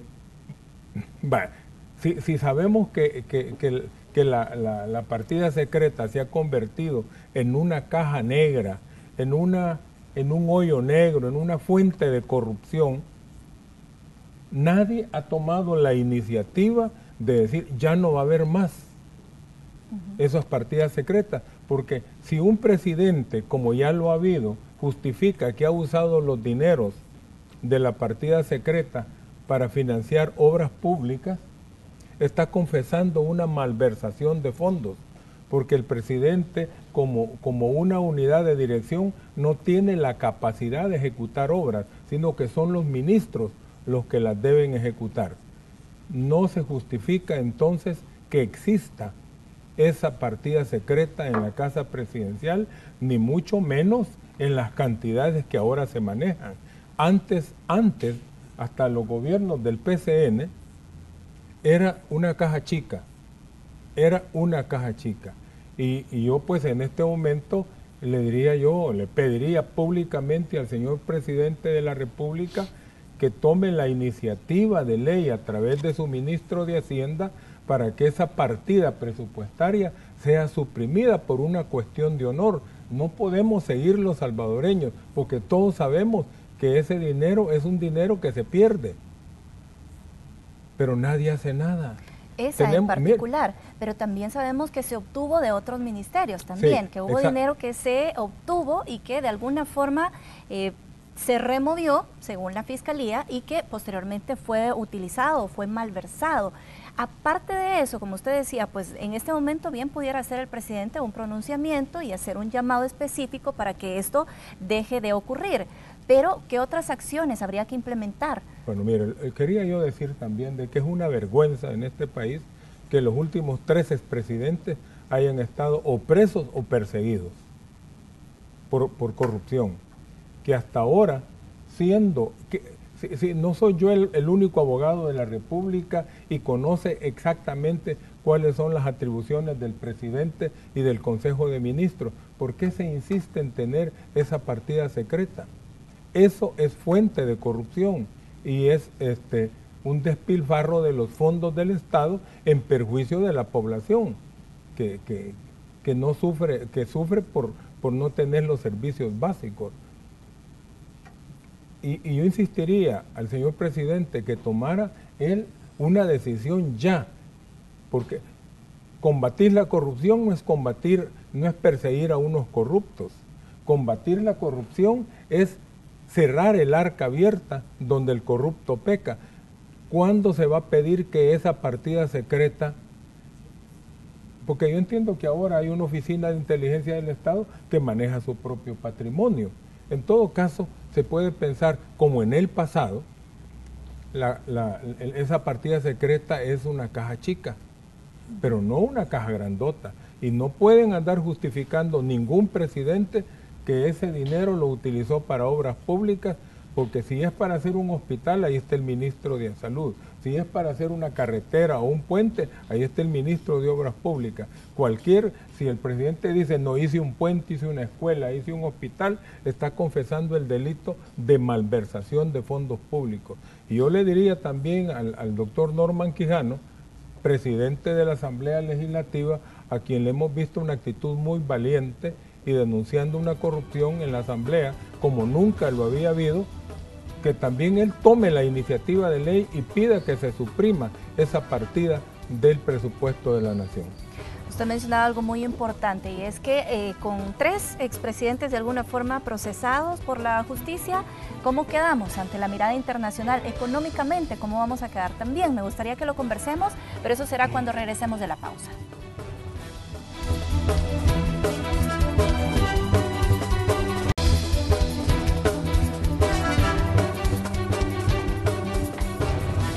En entrevista nos acompañan el doctor Roberto Rubio y el doctor Jorge Martínez. Estamos hablando del caso saqueo público, esto que ha dado mucho de qué hablar durante las últimas horas y del cual por supuesto que seguimos pendientes. Se menciona que hay un testigo criteriado que ha brindado buena parte de la información, pero ¿será que se le puede dar suficiente credibilidad a esta persona que además está implicada en otro caso, según lo menciona el expresidente Funes? Sí, siempre y cuando, acuérdese que el, testigo criteriado depende también de la, de la calidad del, testigo en términos de antecedentes, etcétera, pero el testigo criteriado lo que sirve es para eh, buscar evidencias, para encontrar evidencias. Y el testigo criteriado dice, mire, esta empresa fue la que hizo el préstamo fantasma. Ahí no queda y el fiscal se da por satisfecho ya de que eso es verdad, sino que van a esa empresa, van a documentar. O sea, el, testigo criteriado lo que hace es dar las pistas de por dónde se puede investigar quiénes son los posibles involucrados y entonces se va a documentar eso, se va a tratar de verificar. Eh, y en este sentido tiene validez el testigo porque da información útil, da una información que es verídica y que puede ser comprobada. Eh, entonces, la descalificación del del testigo criteriado a priori, no sé, porque se usa, es una figura que se usa, no soy abogado, pero se usa en, muchas partes, ¿no? Pero ¿será que este caso puede sostenerse con tanta información con un testigo criteriado? No. Eh, la figura del testigo criteriado es una prueba complementaria. Un juicio solo en base a testigos o testigos criteriados se cae sino que el, testigo criteriado tiene que dar un testimonio que se vincule con otro tipo de probanzas. Por ejemplo, aquí no hay duda, el dinero dónde está. Ese dinero desapareció. Y no hay una explicación de dónde están esos fondos. Entonces, el dinero, e, ese ya es una razón de prueba. Y de ahí hay otra serie de circunstancias que que están probadas y que se vinculan con eh, la declaración del testigo. Y no sería raro que aparecieran otros testigos criteriados también. ¿Cómo quedamos ahora, eh, doctor, en términos económicos? ¿Cómo nos vemos ante la comunidad internacional después de conocerse que eh, son al menos tres expresidentes que de alguna forma están siendo procesados o fueron en algún momento procesados y por casos similares? Esto manda más bien señales positivas el hecho de que empiece a funcionar la institucionalidad, eh, creo que es un mensaje positivo para, el país, porque muchas inversiones muchas veces no se atreven a, venir por varios factores indudablemente, pero uno de los factores es el hecho, mire, es que ahí eh, no hay mucha claridad en Estado de Derecho. Yo puedo concursar en una licitación y me la mañan. Eh, yo puedo tener una, una, inversión que ya está lista, pero de repente existen influencias y me la quitan o me piden, me piden sobornos y entonces eso va a ser un costo muy, muy alto. Eh, estas son señales positivas. Yo creo que el, país eh, ha habido dos, eh, o ha tenido dos instituciones que han hecho avanzar el proceso de democratización en el país o la institucionalidad democrática, como ha sido la Sala de lo Constitucional y la Fiscalía. Y estas son señales, creo yo, positivas. Hay una, en economía hay una correlación muy estrecha entre la solidez de la institucionalidad y sobre todo de la institucionalidad democrática y la inversión eh, externa y el crecimiento económico. Los países que tienen más solidez institucional son los que tienen un crecimiento más sólido. O sea que yo lo veo más bien por, el lado, positivo. por el lado positivo. Y desde su punto de vista como abogado, porque bien mencionaba, si bien se ha iniciado el proceso de investigación, parece que no hay acciones concretas para evitar que una situación como esta siga ocurriendo. Sí, yo creo que, eh, diría yo que, comparto lo que dice Roberto en cuanto a que hay una señal positiva, pero no es totalmente positiva, porque lo positivo sería que se cerraran los portillos a la corrupción, porque si viene uno y otro y otro presidente y simplemente se les detiene, eso es perseguir corruptos, pero no combatir la corrupción. Combatir la corrupción es eh, cerrar la puerta, cerrar el arca abierta, y eso no se ha hecho porque aquí tenemos muchas instituciones del Estado que ante su silencio podríamos decir de que aquí no hay corrupción. Pues. En la presidencia de la República hay un secretario de transparencia y no se dio cuenta de, de lo que estaba ocurriendo. ¿Cómo es posible? Hay una corte de cuentas que tampoco se dio cuenta. Hay un un, tribunal de ética gubernamental que tampoco se dio cuenta. Entonces digo yo, el, aparato del Estado no está funcionando. Hay instituciones, instituciones que existen, pero que no son. E incluso eh, vemos que en este caso se le mintió a la misma asamblea diciéndole de que el presidente necesitaba trasladar fondos de ministerios a la presidencia para un destino que no fue el que se le dio. Entonces, eh, y, que la Asamblea tampoco tenga claro de que la Constitución determina que ese tipo de fondos no puede manejarlos el presidente. Es más, la Constitución prohíbe la delegación de funciones e incluso un ministro no puede delegarle funciones al mismo presidente. No es el ministro de Obras Públicas que diga, le delego funciones al señor presidente para que haga puentes o pasos a desnivel. Eso, no es, eso es prohibido por la Constitución. A menos de que, digamos, el, el presidente diga yo asumo también la cartera de obras públicas, ¿no? Que habría que ver si eso es posible. Pero por lo menos en vicepresidentes eh, ha sido una costumbre en este país en el pasado. Los vicepresidentes eran, por ejemplo, ministros de, del Interior. Pero, pero no es posible delegar funciones públicas el ministro de Educación no le puede delegar funciones al presidente. Y entre otras cosas, y sostengo, eh, reafirmo, el presidente de la República es una persona que dirige el aparato del Estado, pero quien ejecuta es el Consejo de Ministros. Son los ministros, la presidencia no es cartera de Estado para que esté manejando fondos, sino que son carteras de Estado los ministerios. Entonces la Asamblea lo debe tener claro, que tomen nota los señores diputados y el presidente actual de la Asamblea, el doctor Quijano, que ya no se puede seguir violando la Constitución, atribuyéndole competencias al presidente que la Constitución no le da. Y cualquier manejo de fondos que diga yo invertí en esto o en aquello es delito de malversación de fondos, aunque comprobemos que efectivamente la obra fue realizada, pero normalmente no se realizan y los dineros simplemente se pierden. Aquí también llama la atención que hasta el momento hay una postura firme por parte del partido FMLN. Ellos se han limitado a decir que se mantienen observando la investigación. ¿Será esta la respuesta que están esperando quienes en algún momento les eh, dieron su voto o incluso la población en general? Ya que hay que tener en cuenta que ellos siguen siendo el partido oficial.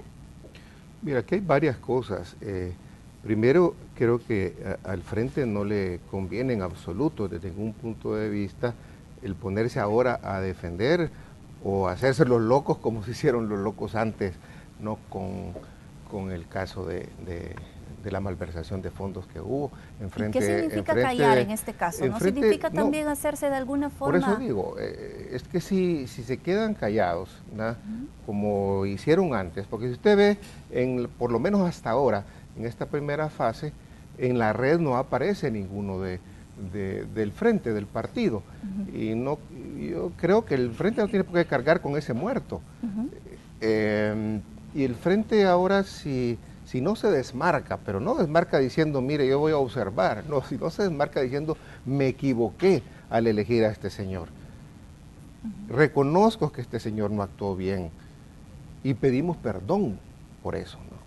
Porque, eh, como decía Jorge, si, si, eso se hizo dentro de Casa Presidencial y era un, eh, y era un gobierno de él, eh, donde estaba el, partido. Es cierto que el partido no por eso no sale, digamos, como salpicado.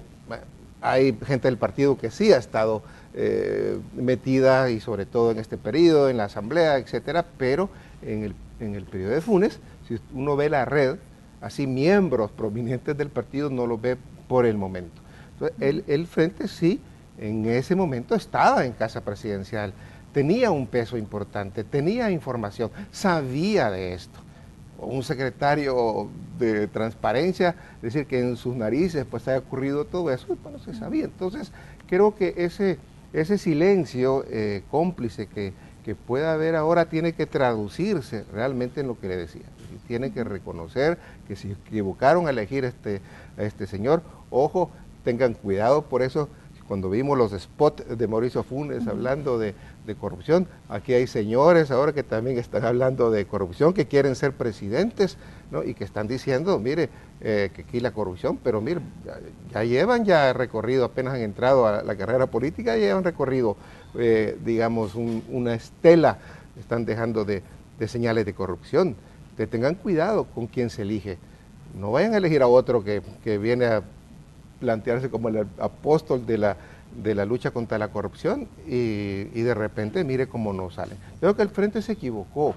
Varias personas, amigas del Frente, le dijeron al Frente, este señor no es el que ustedes creen. Eh, personas cercanas realmente que se lo dijeron a los principales dirigentes, amigos de ellos que se les, advirtieron.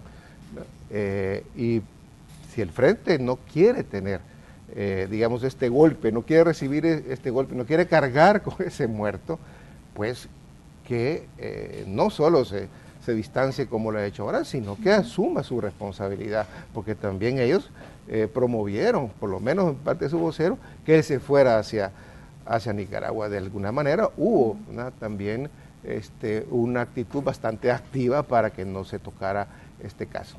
¿Cómo afecta la candidatura de Hugo Martínez? Bueno, Hugo Martínez se está desmarcando de la cúpula del partido.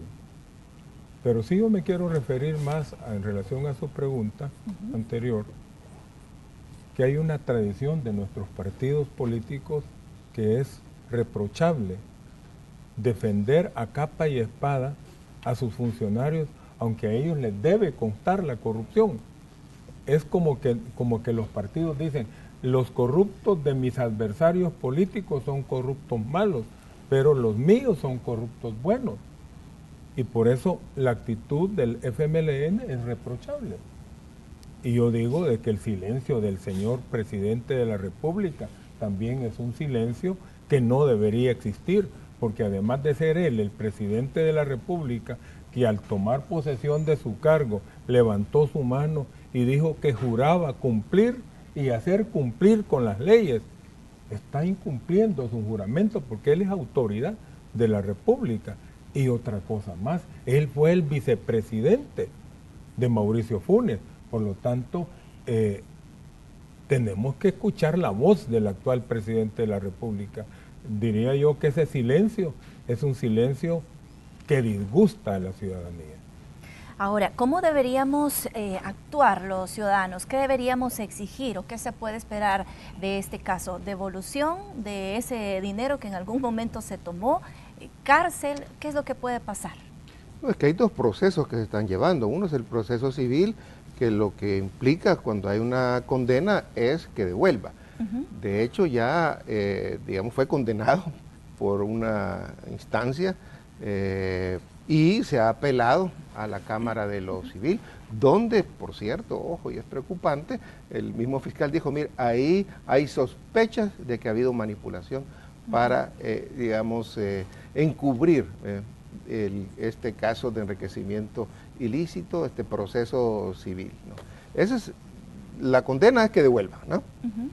Y hay una condena moral, pero la otra es penal, la que está llevando la fiscalía, que es lo que la gente se preguntaba. Dice, ¿cuándo la fiscalía va a iniciar este proceso si ya se inició un proceso eh, civil por parte eh, de, la Corte Suprema de Justicia y, los jueces?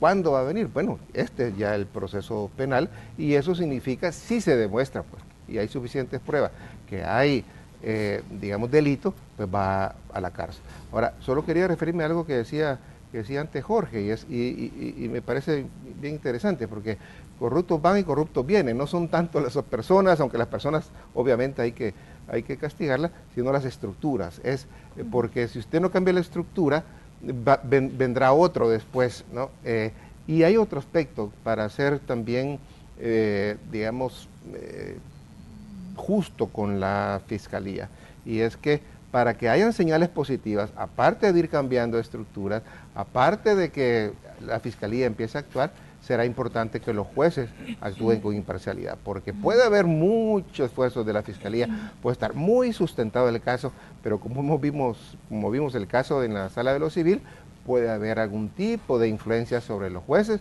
para que realmente hagan caer el caso. Así que hay que estar atento a la ciudadanía, por lo tanto tiene que estar atenta a la actitud, sobre todo ahora de los jueces, para ver cómo se van a comportar en este caso, para que no hayan realmente anomalías, para que no hayan eh, presiones que obliguen a los jueces o que le permitan a los jueces el dejar caer evidencias.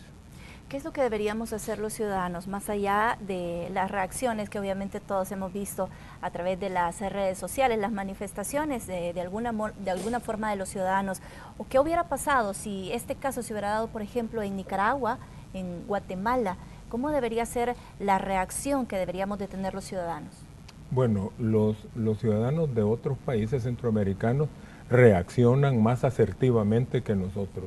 Pero creo que en este momento la atención tiene que ser focalizada en la Asamblea Legislativa y en la Presidencia de la República para que de inmediato, urgentemente, pidan la cancelación de esa partida presupuestaria y que nunca más pueda haber ese hoyo negro institucionalizado como fuente de corrupción en la presidencia de la República. Que supriman esa partida secreta y, bueno, y vamos a ver cómo actúan los partidos políticos representados en la Asamblea y el diputado independiente también. Tiene que suprimirse esa partida secreta porque no responde al diseño constitucional y a las atribuciones que la Constitución le da a la presidencia de la República. Por lo tanto, la presidencia no debe tener asignados esos fondos.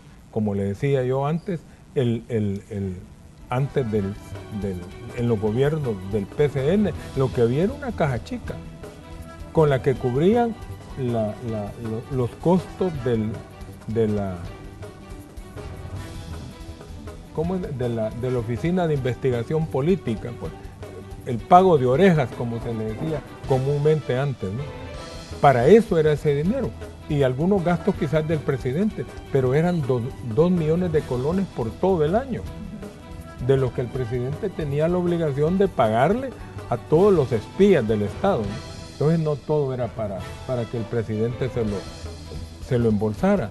Ahorita esto es inconstitucional y debe repararlo la Asamblea en este momento si queremos dar esa señal positiva, como decía Roberto, a la misma cooperación internacional que ya una vez el presidente Trump de los Estados Unidos dijo, ¿y cómo le vamos a estar ayudando a estos países si los gobiernos se roban los dineros de las ayudas? como ha sucedido aquí. Entonces tenemos que completar la señal positiva, suprimiendo las partidas secretas. Doctor Roberto Rubio, quiero agradecerle por habernos acompañado, se nos ha terminado el tiempo, pero una reflexión final. Creo que la ciudadanía, como tú dices, tiene que estar muy atenta a estos casos porque vienen dos elecciones importantes de instituciones de control que son claves en la lucha contra la corrupción, que es la elección de los magistrados de la sala de lo constitucional y uno de la, de la civil, entiendo, eh, y la elección del fiscal que se va a dar también a finales, principios de año próximo. Así es que creo que la ciudadanía debería de realmente involucrarse porque en definitiva, como vemos, quizá ve lejos este tema, pero esos 351 millones le hubiera servido a muchos de los ciudadanos para tener acceso a mejores servicios públicos y no los tuvo. Fue una cantidad muy grande que afectó realmente a, su vida, a su familia, porque fue al hospital y no encontró eh, medicinas, porque las calles estaban eh, agujereadas, se le, arruinó eh, el carro, porque sus hijos no recibieron buena educación, porque no se combatió con suficientes recursos a, las pandillas y a la criminalidad. O sea, esta es mi, reflexión de un llamado pues, a la ciudadanía que se aboque más a la observancia y a la acción positiva, constructiva, para que eh, tengamos buenas instituciones. Doctor Jorge Martínez, igual muchas gracias y una reflexión final. Bueno, yo creo que la ciudadanía, y esta es una señal positiva que se dio el 4 de marzo, ya la ciudadanía está respondiendo. Por lo tanto, continuemos como ciudadanía presionando y no nos quedemos indiferentes y pasivos. Y, hay que ir logrando éxitos en batallas específicas. Que la primera batalla que, libremos en este momento sea la supresión de esas partidas secretas por ser fuente de corrupción y fuente que perjudica el patrimonio del Estado y los servicios que el Estado presta a la ciudadanía. Esa es la acción inmediata que la ciudadanía tiene que hacer. Presionar a la Asamblea y al gobierno para que se suprima ese hoyo negro. Y por supuesto que nosotros como medio de comunicación nos mantendremos muy pendientes, muy atentos para compartir esa información con nuestros amigos televidentes. Muchas gracias a ambos por habernos acompañado. Nosotros seguimos con más de Noticiero Hechos. Bien, gracias eh, Celia por la entrevista. Eh, ya tenemos a nuestros equipos listos también. Así es, nuestro compañero Enrique López tiene más información. Te escuchamos, Enrique. Gracias Lorena. Más información del tráfico vehicular desde el Boulevard Constitución a la altura de la residencial La Gloria. Este es otro de los puntos bastante críticos en cuanto al congestionamiento en la ciudad capital y en estos momentos vamos a mostrarles pues esta difícil situación que día tras día tienen que enfrentar todos los residentes de la residencial La Gloria, también de la residencial San Pedro, los que vienen desde la zona de Popa, Soyapango y esto pues hace que lleguen en la mayoría de ocasiones pues demasiado tarde a sus lugares de destino. Vamos a mostrarles en primer lugar, todos los conductores que vienen desde la residencial La Gloria, son pocos los segundos que el semáforo les permite eh, poder circular, son al menos unos 10 de 10 a 15 vehículos los que logran pasar esta intersección, ya que inmediatamente el semáforo hace el cambio para todos los que vienen desde el redondel integración. Hay que tener mucho cuidado en esta intersección, ya que para calles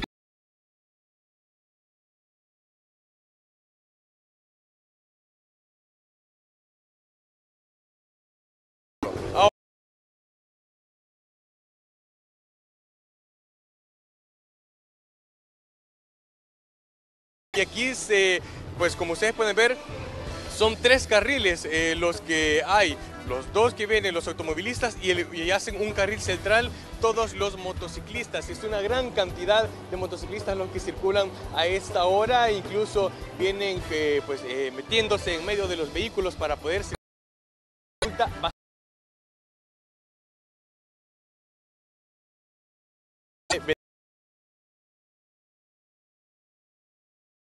Desde ahí vemos el otro sector, el sentido contrario, los que vienen desde Rondel, Chafik, Hamdal hacia la zona norte del país. El tráfico está totalmente fluido. Estas son las dos caras de la moneda del tráfico vehicular en esta zona del Boulevard Constitución, compañeros. Eh, y por último, comentarles que sí hay presencia de los agentes de tránsito terrestre que también están muy pendientes ante cualquier accidente o cualquier persona que se quiera pasar de lista y violar el normamento de tránsito. Así es que compañeros, estas son las imágenes del tráfico vehicular. Muy bien, Enrique López, muchísimas gracias por el reporte del tráfico desde el Boulevard Constitución. También tenemos señal en vivo de nuestra unidad motorizada, Gerardo Borja también. Te escuchamos, Gerardo, adelante.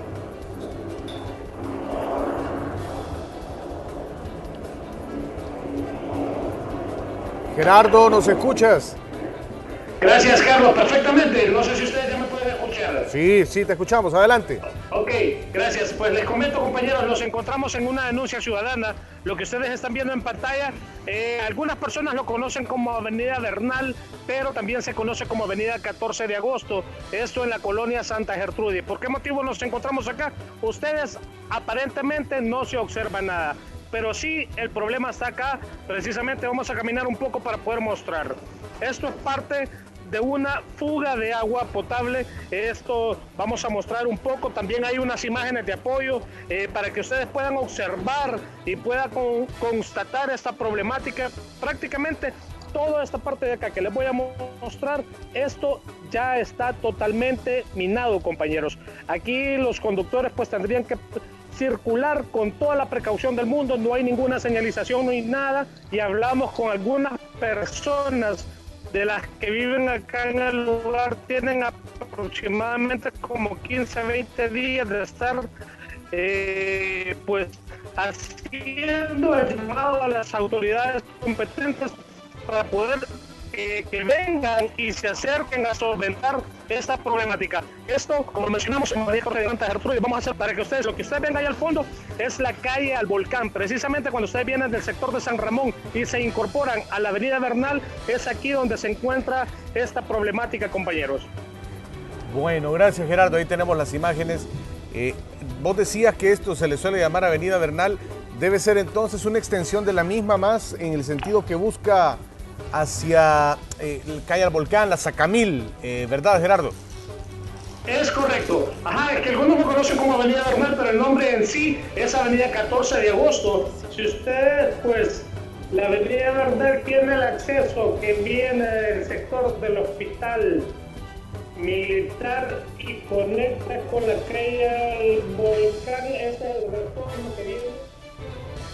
Bueno, es eh, en el sentido que conduces al hospital militar, queda claro, eh, y que luego se convierte en Avenida Bernal. Gracias, Gerardo. Gracias, Gerardo. Recordando también que usted puede hacer su denuncia ciudadana a través del 2560-1240 y las redes sociales de Noticiero Hechos están a disposición para que ustedes utilicen este medio y pues por supuesto servirles de alguna manera para solucionar el problema de su comunidad.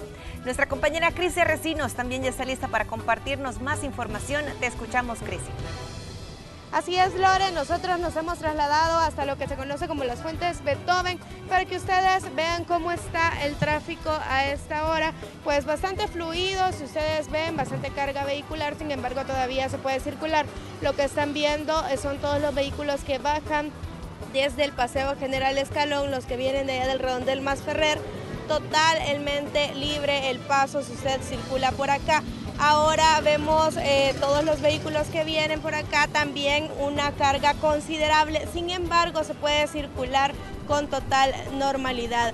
Ah, si usted viene en cambio desde El Salvador del Mundo, sí se ve eh, un mayor número de vehículos, pero libre el paso. A esta hora se podría decir que pese a ser lunes, pese a ser un día que generalmente vemos eh, que todas las personas tratan de llegar más temprano a su trabajo, totalmente normal el tráfico, así que se puede circular. Le estamos hablando de acá del Paseo General Escalón.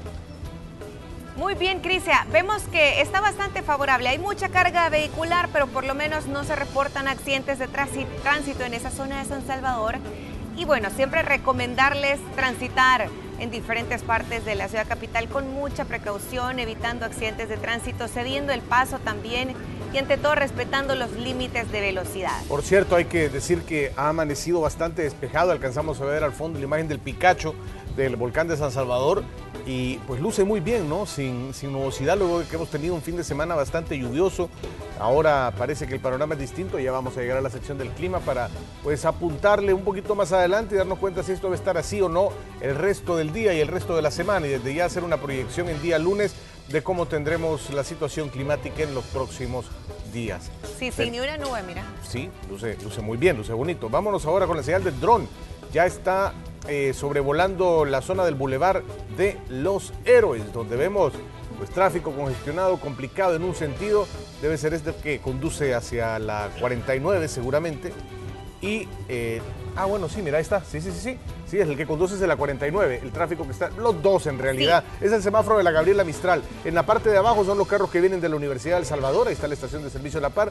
En la parte superior tenemos los carros que vienen del Estadio Mágico González y se conducen hacia la UES. Mira, ahí está una muestra del tráfico que viene desde la San Antonio Bank. Sí, parece que se extiende hasta la zona del Ministerio de Hacienda, mira, está, está. bastante larga la fila para quienes vienen de esta zona de Sacamil, también para quienes vienen de la 25 y toman eh, la zona de la, de la Universidad del Salvador para acceder a este lugar, también hay bastante congestionamiento, hay que circular también con mucha paciencia. En estos momentos poco se puede hacer si usted ya tiene planeado eh, transitar por esa zona, pues nada más tener muchísima paciencia y respetar las señales de tránsito y qué bueno por los vehículos que se han quedado haciendo espacio porque el verde está dándolo ahorita en el Boulevard de los Héroes. Ahí veíamos carros que vienen de las tres torres que ceden y dejan el espacio para que puedan circular justo lo que van buscando la colonia médica. Fluye en este momento luz verde para todos en el Boulevard de los Héroes. El tráfico que tenemos a esta hora gracias a la señal que recibimos en vivo de nuestra unidad aérea, de nuestro dron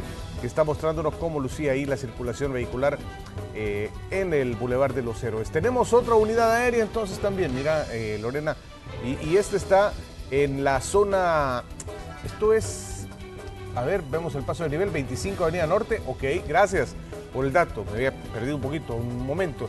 Es la 25 Avenida Norte también, donde vemos también tráfico en un solo sentido, seguramente unos metros más adelante, un semáforo que está eh, impidiendo el tráfico, la zona de los hospitales, la zona de la, eh, del Hospital Rosales, del Parque Jucatlán y demás. Ahí lo vemos, también por ahí está la primera calle Poniente, en fin, una zona que también sabemos se congestiona bastante este justo es el sentido, los carros que van fluyendo a la derecha son los que se conducen a la fuente luminosa, los que tenemos en el carril de la izquierda son los que van buscando la zona del Hospital Rosales. Y parece que se congestiona bastante en la zona hospitalaria, como muchas personas le conocen. Eh, muchas unidades del transporte colectivo también tienen eh, previstas bastantes paradas en este lugar y vemos que se extiende por bastantes eh, espacios. Y al fondo vemos la Tutunichapa, mira allá donde van, bien al fondo, donde se ve que va circulando los vehículos. ¿Por qué? Porque tenemos ahí también esta eh, imagen de una estación de servicio que está justo detrás o después de un eh, supermercado, ¿no? Eh, muy conocido ahí en esta zona, este, este supermercado. San Ignacio de Loyola está en la esquina superior izquierda del externado San José. También lo alcanzamos a ver para mayor punto de referencia o para tener otro punto de referencia. Ahí vemos esta peculiar y particular estructura en la iglesia del externado San José. Un saludo para toda la comunidad de eh, Jesuita en El Salvador. Y aquí está justo los vehículos que van circulando desde el externado hasta la zona del Hospital Rosales, fluyendo congestionado. También, fluye pero congestionado, hay, que, hay que decirlo. Es decir, se va moviendo pero saturado Pareciera que la mejor opción es buscar otra ruta, si tiene que pasar por ahí, porque no es lo más recomendable en estos momentos. Son las 7 de la mañana con 29 minutos y con estas imágenes vamos a hacer una breve pausa. Regresamos con más noticias enseguida.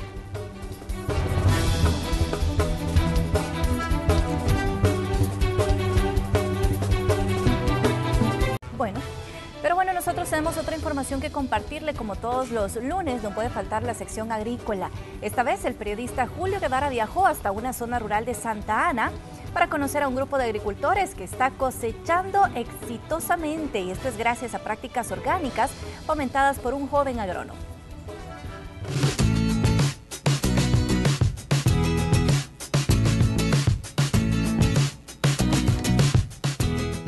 Hablaremos en esta ocasión de la agroecología, precisamente un tema que está ganando terreno en una zona rural de Santa Ana, gracias a un joven que busca erradicar las prácticas agrícolas inadecuadas. Esto es el agro. Tierra bendecida. ¿Cómo no decirlo si todos estos cultivos lo dejan en evidencia? Aquí literalmente hay de todo, hasta mil tomate. No me equivoqué, lo dije bien y lo repito, mil tomate. Es un tomate pequeño y verde que nace cubierto por una especie de hoja y de muchas propiedades, según Raquel, una joven agricultora. El mil tomate es una hortaliza, pero no es muy cultivada acá en el país sino que es más originaria de México. Acá en el país se conoce en fincas y motorrales, pero la gente se confunde pensando que es mazorca. También lo llaman tomate de fresadilla. Raquel junto a otras personas lo están cultivando en este terreno, donde producir era imposible porque el suelo estaba degradado por prácticas agrícolas inadecuadas. Precisamente lo que Armando busca combatir, un agrónomo de 28 años que por cuenta propia se ha trazado la misión de impartir charlas agroecológicas. Los productores se quejan que no, no, están ganando nada los productores generalmente y los más impactados son los de básicos.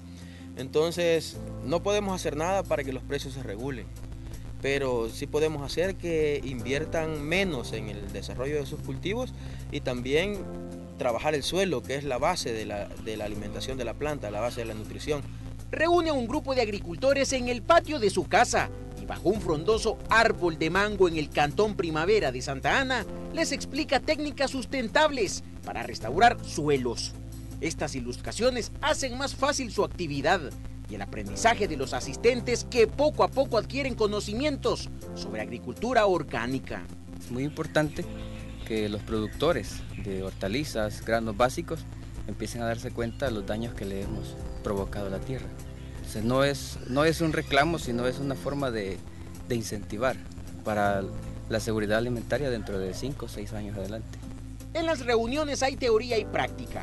Entre todos preparan herbicidas, insecticidas, abonos y otras mezclas que sirven para restaurar suelos y combatir plagas. Mi satisfacción es ver que, que alguien me diga, mira, eh, antes gastaba más, por ejemplo, con un herbicida y ahora gasto el 80% menos en el uso de este herbicida. Antes gastaba X cantidad de dinero en comprar un foliar y ahora me sale a 50 centavos el litro con estas alternativas. Gracias a todo esto, los alumnos de Armando, por decirlo así, le están apostando a la agricultura agroecológica y muchos ya están obteniendo resultados.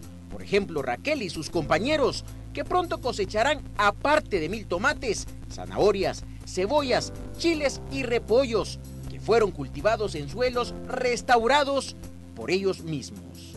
Con imágenes de Alfredo López, Julio Guevara, Noticiero Hechos. Este es un terreno con vida. Muchos dirían que está sucio, pero no es así. Miren, hasta dormilona hay. La agroecología nos enseña que en propiedades como esta se puede cultivar y obtener buenas producciones. Muchos agricultores dicen que para cultivar los terrenos deben estar prácticamente barridos, algo negativo de acuerdo a las charlas de Armando. Él les enseñó todo lo contrario a estos trabajadores de la tierra. La explicación tiene lógica y se puede comprobar desde ya en estas propiedades donde hace algunos días se sembró maíz. La ventaja es de que de ahí se alimenta la tierra, del, del, rastrojo que uno deja, la tierra se alimenta y es la que mantiene con vida los suelos, pero si usted quema o los, se lava y aquello queda bien árido, que después ni maleza quieren hacer. Les conté que en las charlas también hay práctica. Esta vez prepararon producto para combatir de todo en los cultivos. Por ejemplo, y ponga atención porque le puede servir hasta a usted. Fui testigo de cómo hacer un herbicida agroecológico. Utilizaron 100 hojas de teca, una libra de urea, un litro de paraquat y 7 litros de agua. Juntaron fuego y pusieron el agua a hervir. Picaron las hojas y luego lo mezclaron con todo lo demás en el recipiente. Aquí se obtuvieron 5 litros de herbicida, que sirve para quemar maleza en aproximadamente dos manzanas de tierra.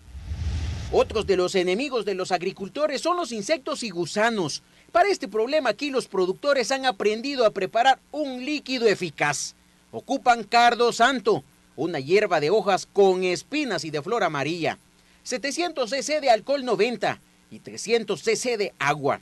Todo se mezcla en una botella, se deja reposar en sombra y en 20 días se puede usar en los cultivos. ¿Por qué la agroecología gana terreno? No solo porque se trata de evitar cada vez más el uso de químicos, también se destaca por la baja de costos en producción, pero además porque se contribuye a mejorar la nutrición y porque ayuda a frenar el cambio climático. La agroecología es aliada de miles de agricultores en este momento. En el Cantón Primavera de Santa Ana da pasos agigantados gracias a la iniciativa de Armando. ¿Quiere adoptarla usted? Hágalo, no se va a arrepentir. Observará resultados sorprendentes. Hará producir la tierra como nunca imaginó. Soy Julio Guevara y esto fue El Agro. Bueno, muy interesante la iniciativa, ¿verdad? Y ahí dejaba eh, Julio la posibilidad de, de, que otras personas también lo puedan implementar. Al alcance de todos, este, este plaguicida, este insecticida, sí. como él bien indicaba la fórmula para hacerlo, eh, incluyendo elementos naturales, alcohol, agua además, y, y tener ahí la posibilidad también de potenciar los terrenos que ya se tienen y los cultivos que ya sí, se tienen. y no solo de beneficio para el medio ambiente, sino también a la larga, como estamos hablando de alimentos, es beneficio para nuestra salud, cosa que también ya hemos abordado en otras oportunidades aquí en este espacio sobre eh, pues el uso de los químicos, que a veces esos insecticidas pues no, no, no perecen y permanecen siempre en los vegetales que finalmente después consumimos. Así que por eso es importante que pueda practicar la agroecología, si usted tiene oportunidad de hacerlo, si tiene un huerto casero también es una excelente oportunidad para salir, salir adelante con, con esta bonita iniciativa.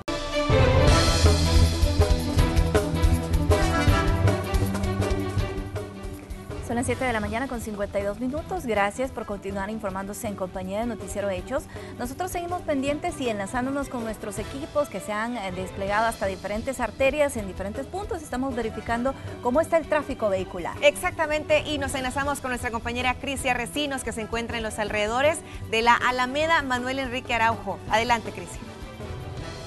Así es, nos venimos a la Manuel Enrique Araujo para mostrarles cómo está el tráfico en este lugar. Les comento, desde que nosotros venimos hace aproximadamente unos 10 minutitos estaba todavía más complicado el tráfico. Si ustedes ven, todas las personas que vienen, eh, por ejemplo, desde Cifco, hay una larga fila de vehículos, bastante, bastante complicado el paso, sin embargo, ya acá se empieza a, a descongestionar un poco. Por el contrario, las personas que vienen desde El Salvador del Mundo todavía se ve un poquito más fluido, pero cuesta transitar por acá. Así que tómelo en cuenta si usted va a pasar por la Manuel Enrique Araujo, complicado todavía. Hay que tener mucha paciencia, ya que recuerde que muchas personas que se dirigen a su trabajo todavía están transitando por este lugar. Buena hora, Crisia, por los automovilistas. Ahí estamos observando, también contrastamos con esta imagen día Waze y sin complicaciones, al menos en esa día, a esta hora hay que tener en cuenta que son las 7 con 53 minutos. Eh, como cosa extraña, Crisia, porque a esta hora ya eh, solemos ver un poco más de complicaciones, al menos en esa, que es una vía principal, la, la Alameda Manuel Enrique Araujo. Sin embargo, cabe mencionar, Crisia, que algunas de las rutas alternas sí están un poco congestionadas, como es el caso de la calle La Reforma, llegando a la zona de San Benito, también muy cerca, ahí en la calle Loma Linda, también un poco complicado para circular. Habrá que tenerlo en consideración por las personas que toman esas vías alternas. Muy importante también mencionar que otra de las rutas que muchos utilizan es la calle La Mascota y estamos observando que de momento no presenta mayores inconvenientes. Muy importante que usted tenga en cuenta que eh, prácticamente la mayor parte de la Alameda Manuel Enrique Araujo está prácticamente libre en los alrededores de la colonia Roma, eh, por el centro comercial también sin complicaciones y lo comprobamos también con nuestra señal de microondas. Ahí nos compartía las imágenes Crisia Recinos. Muchas gracias Crisia por el reporte. Ahí tenemos en pantalla el tráfico, cómo luce a esta hora sobre la Manuel Enrique Araujo.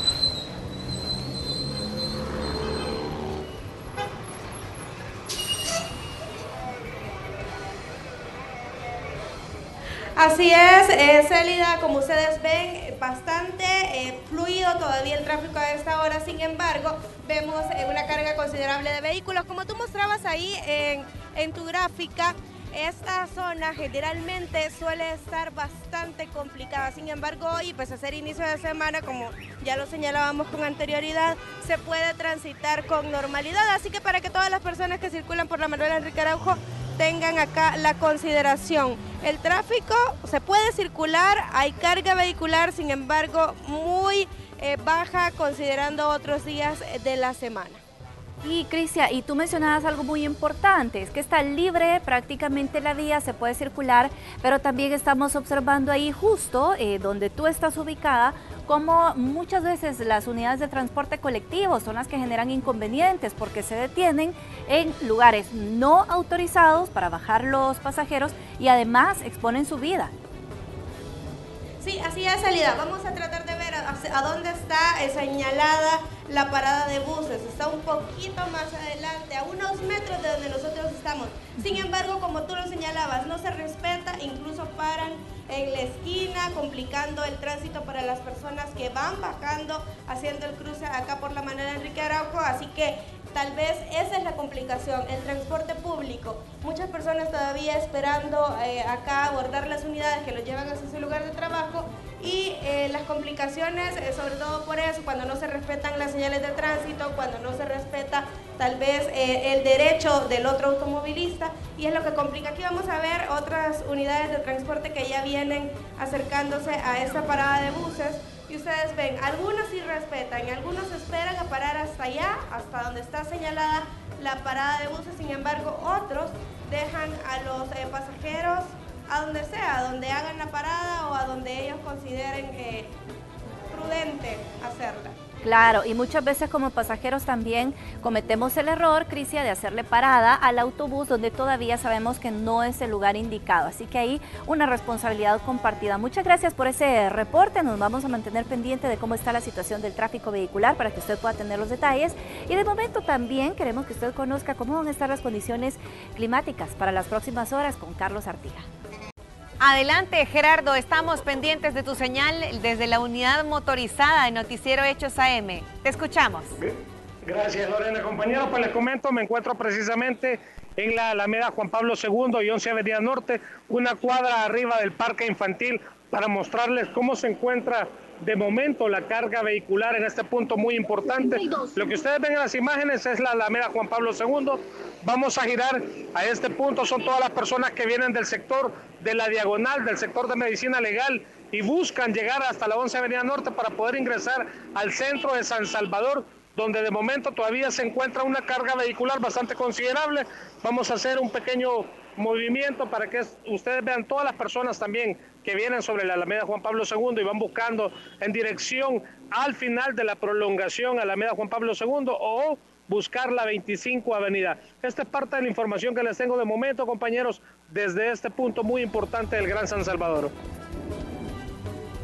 Muchas gracias Gerardo por el reporte de tráfico vehicular. Ahí le presentamos desde diferentes arterias para que usted pueda tomar en consideración. Las declaraciones que está dando en este momento el fiscal general de la República eh, con relación y especialmente al, tema que nos ha ocupado, saqueo público, la operación que están eh, llevando a cabo y que se ha hecho pública desde el pasado viernes. Escuchemos. Nosotros investigamos a personas Déjeme decirle que, que, sí, ¿verdad? Eh, hay varias personas en el Ministerio de Hacienda que están siendo ahorita, digamos, eh, tomados o vistos como sujetos de interés en investigación. Entre, entre ellos el exministro. Fiscal, pero el caso de extradición del expresidente Funes no puede ser afectada porque él tiene asilo político en Nicaragua. esa es otra cosa aparte, ¿verdad? El asilo, digamos, las acciones penales de extradición validadas por jueces, por organismos judiciales, son válidas, ¿verdad? Eh, un asilo, digamos, puede ser un asilo un tema totalmente irregular y planteado e inventado para proteger a una persona políticamente, ¿verdad? Pero nosotros lo que vamos a hacer es hacer el procedimiento de, extradición.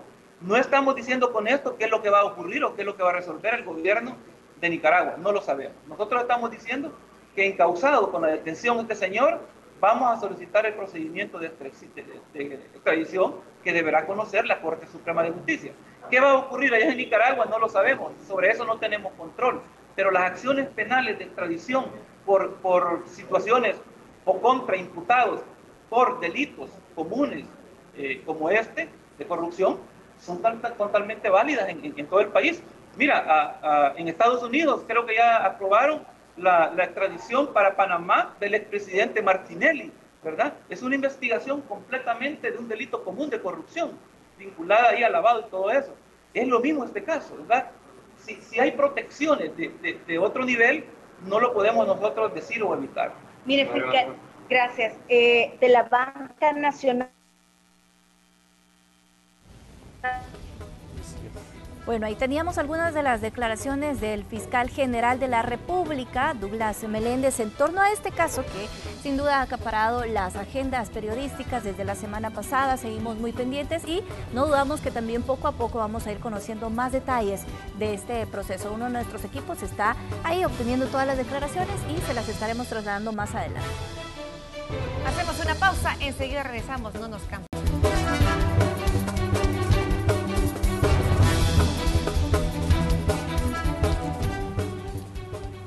Es hora del tema del día y hoy está relacionado al deporte. ¿Sabía usted qué pasa con los atletas salvadoreños cuando ponen punto final a su carrera deportiva? Existen muchos casos, algunos con mejor suerte que otros, pero hoy en nuestro tema del día le traemos la historia que trabajó nuestro compañero el periodista Néstor Hernández sobre una deportista nacional que dejó justamente la práctica deportiva hace más de siete décadas. Veamos. Paz Alberto tiene 94 años de edad, con buena salud y sacando a relucir sus mejores recuerdos de la década de los años 30 y 40 del siglo anterior. Estoy en el estadio de este Flor Blanca. Fue atleta desde los 9 años, hizo deporte escolar y federado, béisbol, softball y atletismo. No olvida esos años de gloria en los que incluso obtuvo el récord nacional de lanzamiento de disco. Pasamos la prueba de allá también ahí están las medallas. Traje el quinto lugar en disco. Debido a sus cualidades fue solicitada para participar en un equipo de softball de Nicaragua y ser parte del cuerpo de entrenadores. Su único requisito era que la acompañara su madre. Hablé con mi madre, me dice ella, bueno, vamos. Si te dicen que, me, que también voy yo acompañándote, vamos. Estuve allá y me me dieron medalla también.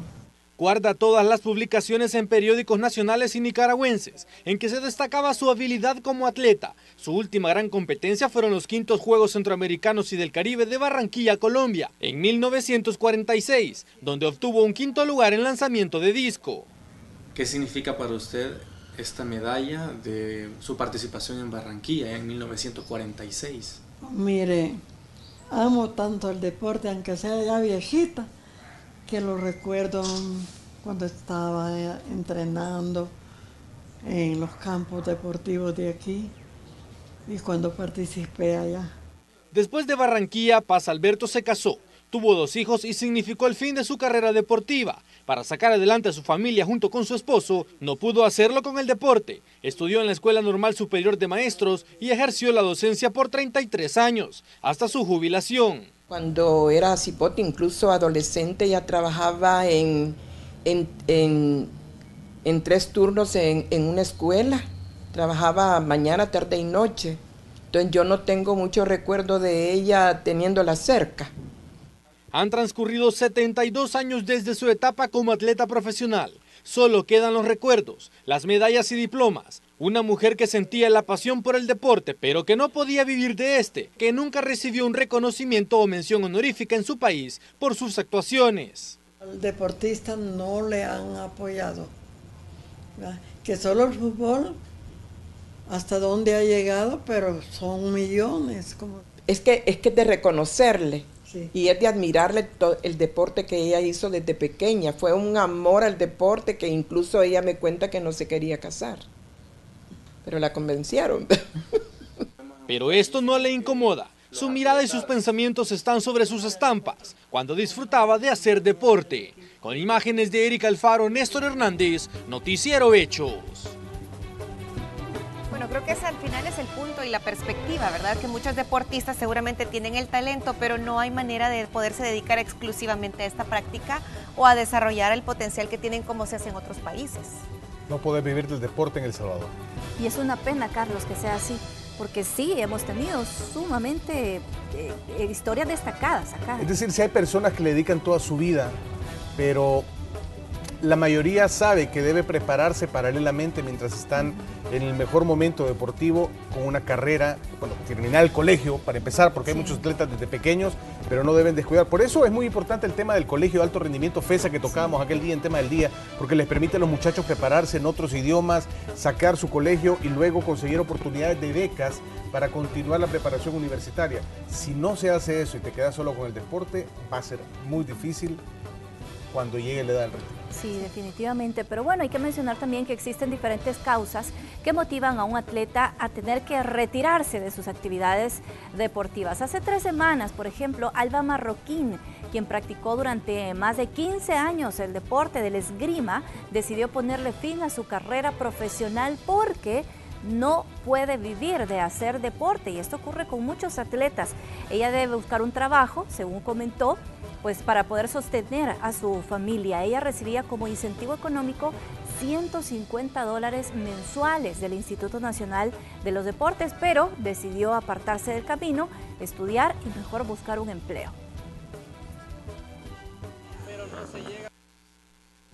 Pues nos toca ver la manera de subsistir. Y no es que el hecho de que uno haga deporte significa que uno va a tener billete a la mano.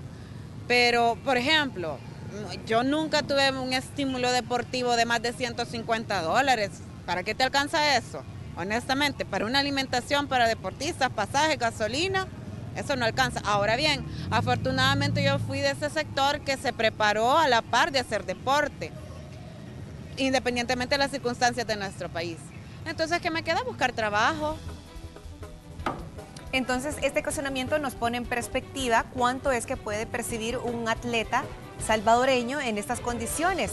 De acuerdo a su rendimiento, pueden recibir del Instituto Nacional de los Deportes desde 50, 150 y un máximo de 300 dólares como incentivo económico para dedicarse a hacer deporte. Podrían recibir mayores ingresos si consiguen patrocinadores, eso sí, pero pues estábamos comentando y escuchando los, los lo que nos compartía Alba, que decía, ¿por qué? ¿Cómo esta persona puede alcanzarle para una alimentación de un deportista su transporte y sus gastos? No, no, no alcanza. Hace poco fue el campeonato centroamericano mayor de tenis de mesa aquí en El Salvador, venían representantes de México, Guatemala y demás, y nos comentaba el, uno de los miembros del equipo mayor de tenis de mesa de Guatemala, 800 dólares mensuales. Y una gran diferencia y es solo Guatemala. Diferencia, ¿no? Sí, Y no nos hemos ido a hablar, no estamos hablando de Europa, no estamos hablando de Estados Unidos, estamos hablando de Guatemala. 800 dólares es un salario mayor incluso el que perciben muchos profesionales ya con título y experiencia. Y, bueno, 800 dólares para dedicarse a jugar tenis de mesa nada más, aparte de que puede prepararse también académicamente. Claro. Eh, ahí la diferencia porque ahora nosotros vemos hacia arriba a Guatemala en el medallero, no solo en ese deporte, sino en la mayoría, mientras sigamos dándole ese tipo de apoyo apoyo a nuestros deportistas. Bueno, lo colocamos como temática del día para hacer una reflexión y ojalá pues las autoridades lo puedan tomar a bien, que lo tomen en consideración y que ojalá que a partir de este momento pues también se puedan tomar cartas en el asunto. A la hora de asignar presupuesto, ¿verdad? De parte del Estado al deporte. Es necesario. Bueno, con, esta, con este planteamiento hacemos una pausa, regresamos en minutos. Por habernos acompañado, será hasta mañana. Bye.